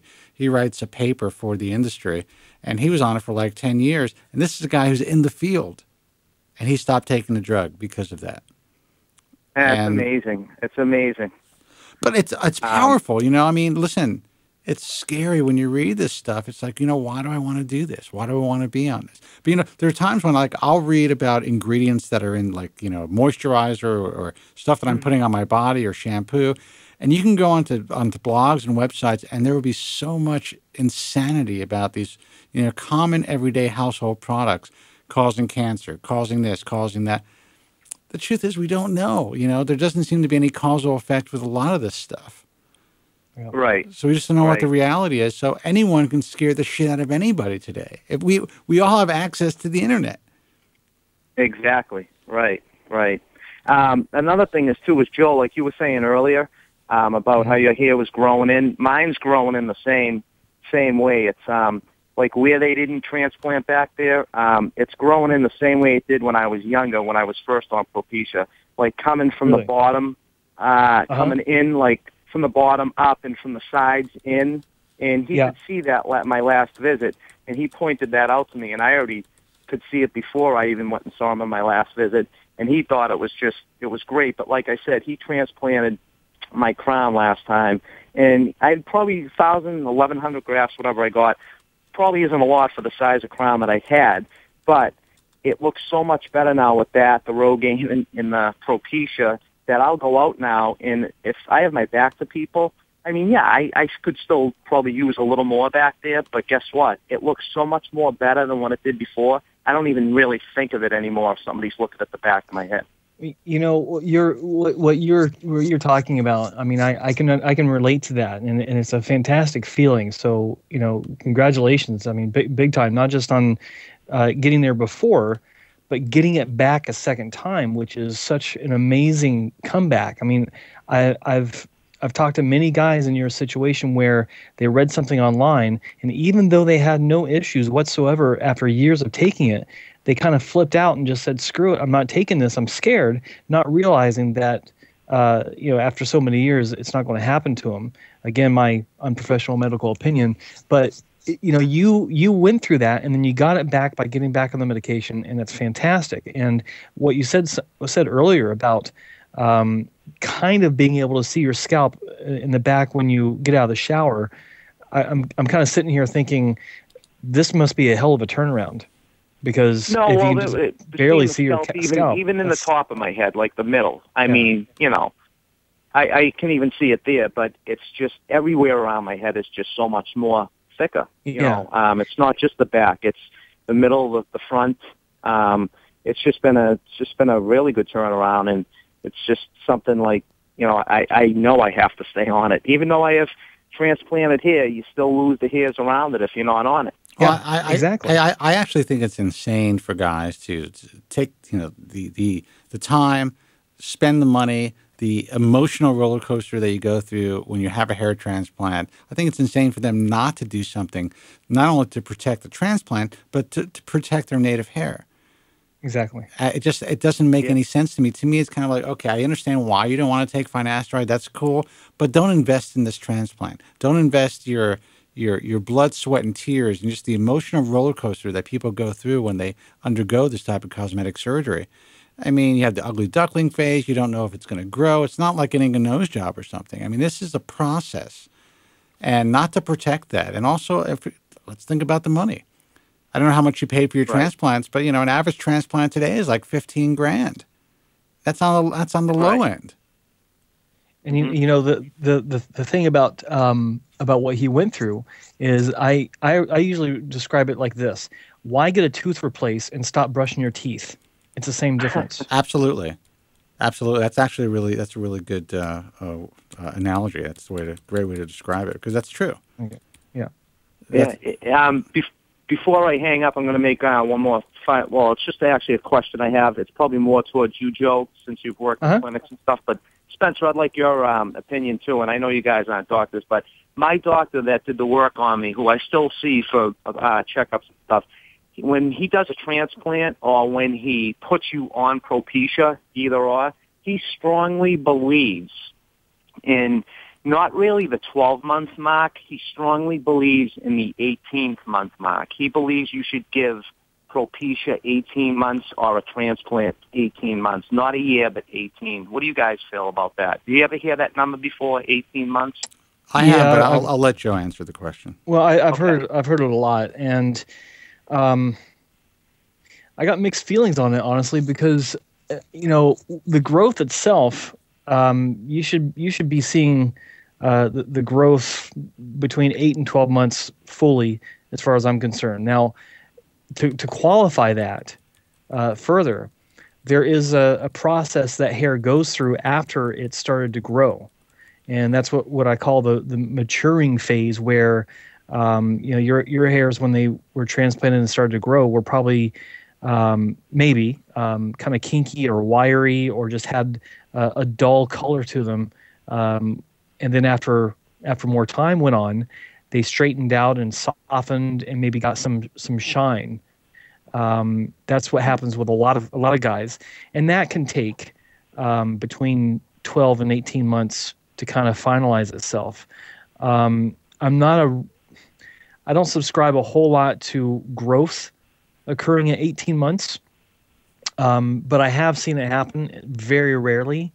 Um, I think a lot of times what we're dealing with is a resetting of the of the growth cycles because when you think about it, when you transplant X number of, of grafts or hairs from the back to the top, you're essentially resetting the growth cycle for all those hairs being moved at the exact same time. And so, um, you know, they all go into um, into te- telogen, fall out, and between three to five months later, they start growing back in. So they've all been reset onto a similar time frame uh, cycle. But my I, I got a theory that after so many months have have uh, passed of growth for all these new hairs, that some of these new hairs actually go back into their original cycle, and so you'll have a, a telogen phase uh, kick in again, and that's why I think some guys online uh, are saying, "God, my, my hair transplant was great at eight months, but here I am at twelve months, and it looks like it looks like hell." And I think And that's, that actually, might be that's actually a really good point that most people don't really understand. It's really not explained to them by their physicians in most cases, and you don't see a lot of a lot of that online. I have told uh, patients, I've told um, you know guys on, on the forum, and I've also told you know guys who've called me through the shows over the years the exact same thing. I don't know why it's not described in any literature. I don't know why that you know it's not really talked about by doctors, but there are patients out there who really think that their hair transplants are going to shit after the nine or ten month mark, and it gives them a tremendous amount of anxiety. You should write about that, Joe.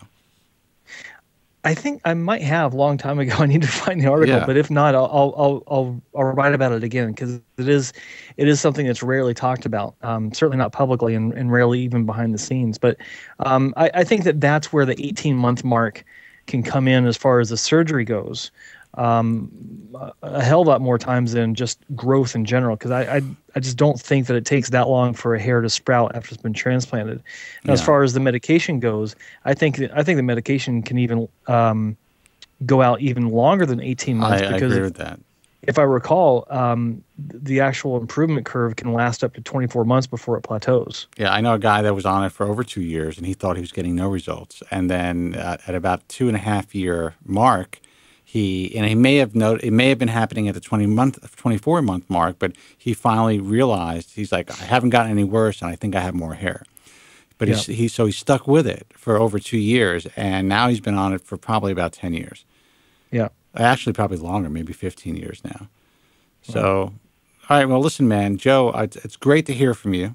I'm glad you're doing well. I'm glad you're back on medication and and things are going going well for you. And you know, I want you to have a happy New Year. I'm glad I haven't heard from you in what six months. I think he hung up. I He's think it gone. did. Oh well. Well, listen, dude, thanks for the call. I'm going to take one more call. I know we're running late. I'll take one more call, and then we're going to call it a night. So uh, Okay. let's see who this is. Hey, man, you're on the air. Who's this, and where are you calling from?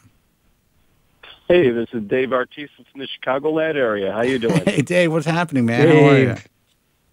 Hey, Joe. I'm doing fine. Just Good to hear from you, Dave. And wish everybody a, a, a great new year. A happy New Yeah, Year Happy to you New too, buddy. I think it's going to be a great year. I think it's going to be a great year for the show. I think it's going to be a great year for hair loss. It may not be what a lot of the, the forum guys want it to be, but I, I really think that, you know, uh, like I said at the beginning of the show, and I don't know if you heard it, you know, I really think we need to concentrate on the reality of what we have today. The reality of hair loss Yeah. and the reality of what we have to treat hair loss. And if you guys, if guys out there can't deal with the reality of, of what the situation is, they need to kind of move on. Right. Just move on. That's what live, this show is all about. live, your, live your life because, you know, listen, I love the traffic. It's great. It's great.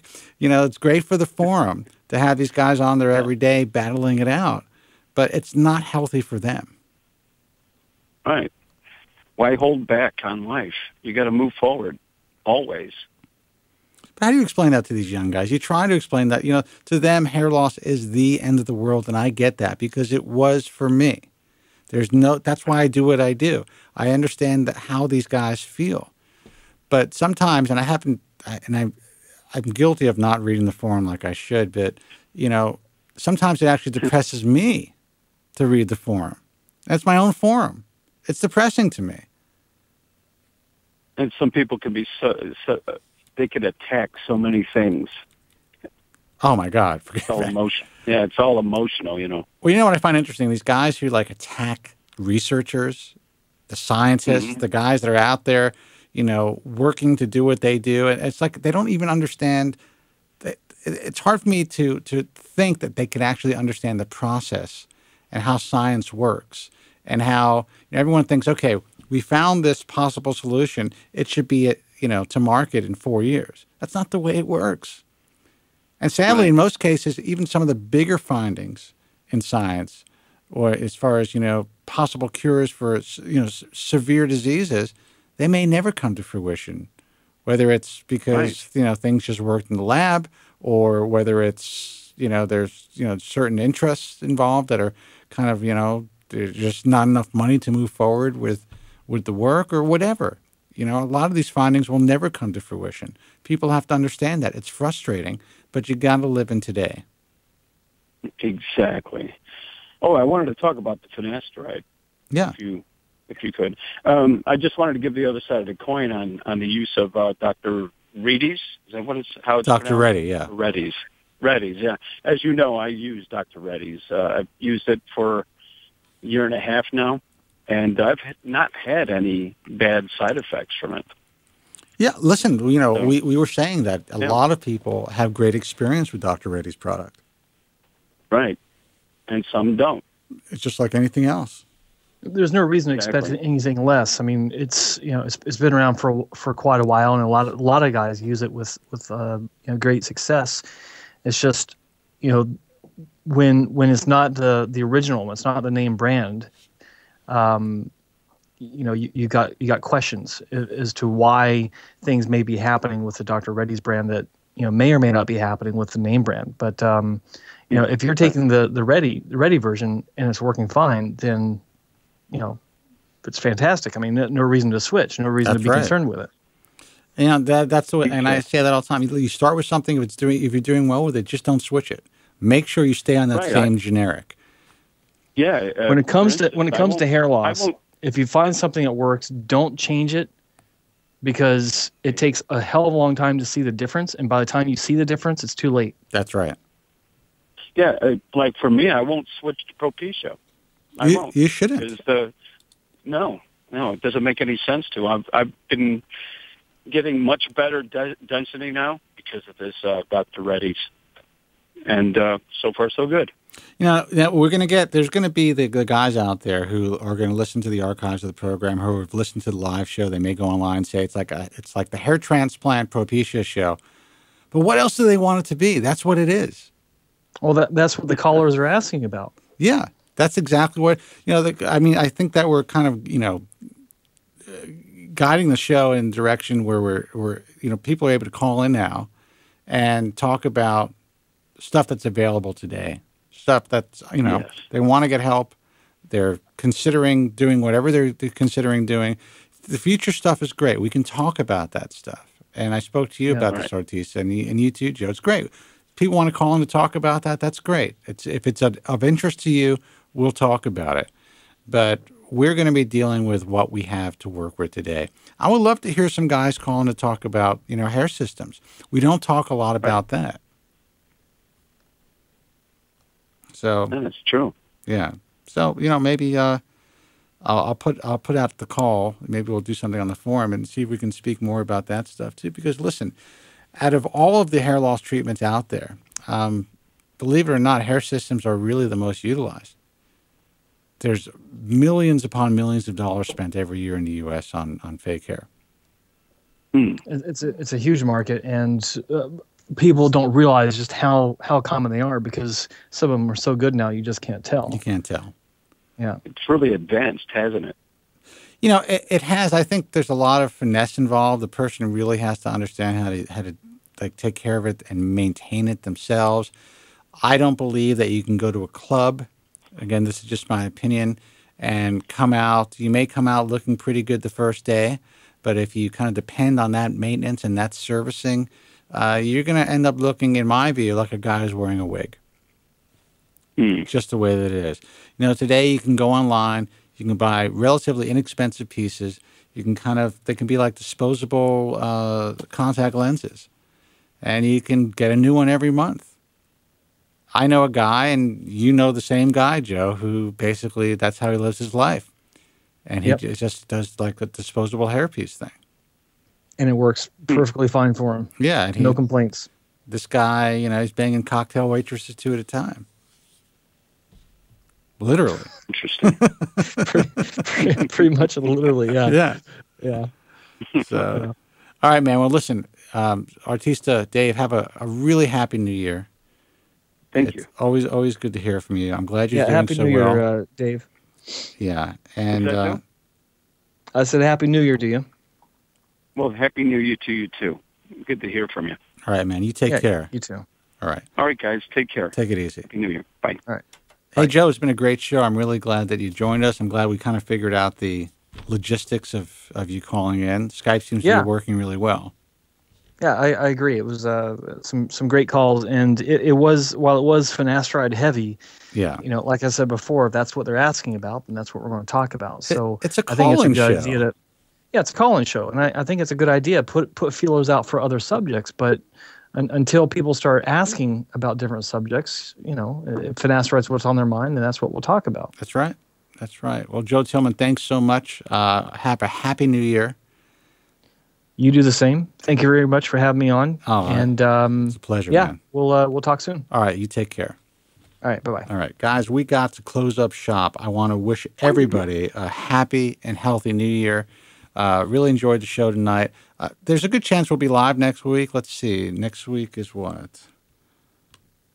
The first is on Friday. So I'll probably be live next week. I'll make sure that it's announced on the forums if I am. Um, but in the meantime, if you have any questions about hair loss, you know, we do have Bald Truth Talk forums. You can go on there, you can learn a lot just always take what's written on the forums with a grain of salt unless you know it's coming from a professional if it's coming from an anonymous user you never really know. There's a lot of really good guys though on bald truth talk. I think things have changed a lot on the forum. Uh, we've made it quasi private um, and um, we really we really try to make it a, you know a safe place. So you know you can go on there you can interact with other hair loss sufferers you can kind of learn and see what's going on. But like I always say, don't spend too much time on the forums. It's always it's good to go on there, get your information, and get out. Live your life. you, know, the form is going to be there. That's baldtruthtalk.com. If you are considering surgical hair restoration, of course, you could check out uh, our recommended surgeons at the International Alliance of Hair Restoration Surgeons. That's iahrs.org. Also, check out the American Hair Loss Association at americanhairloss.org. I want to wish everybody a very happy and healthy new year. Until next time, be strong. God bless, and thank you so much for listening. Thank you very much. I'm sorry for any inconvenience you may have been put to prior to the programme, and I'm glad you enjoyed it. And if you could now leave by the exits at the rear, that'd be splendid. Thank you. Good night.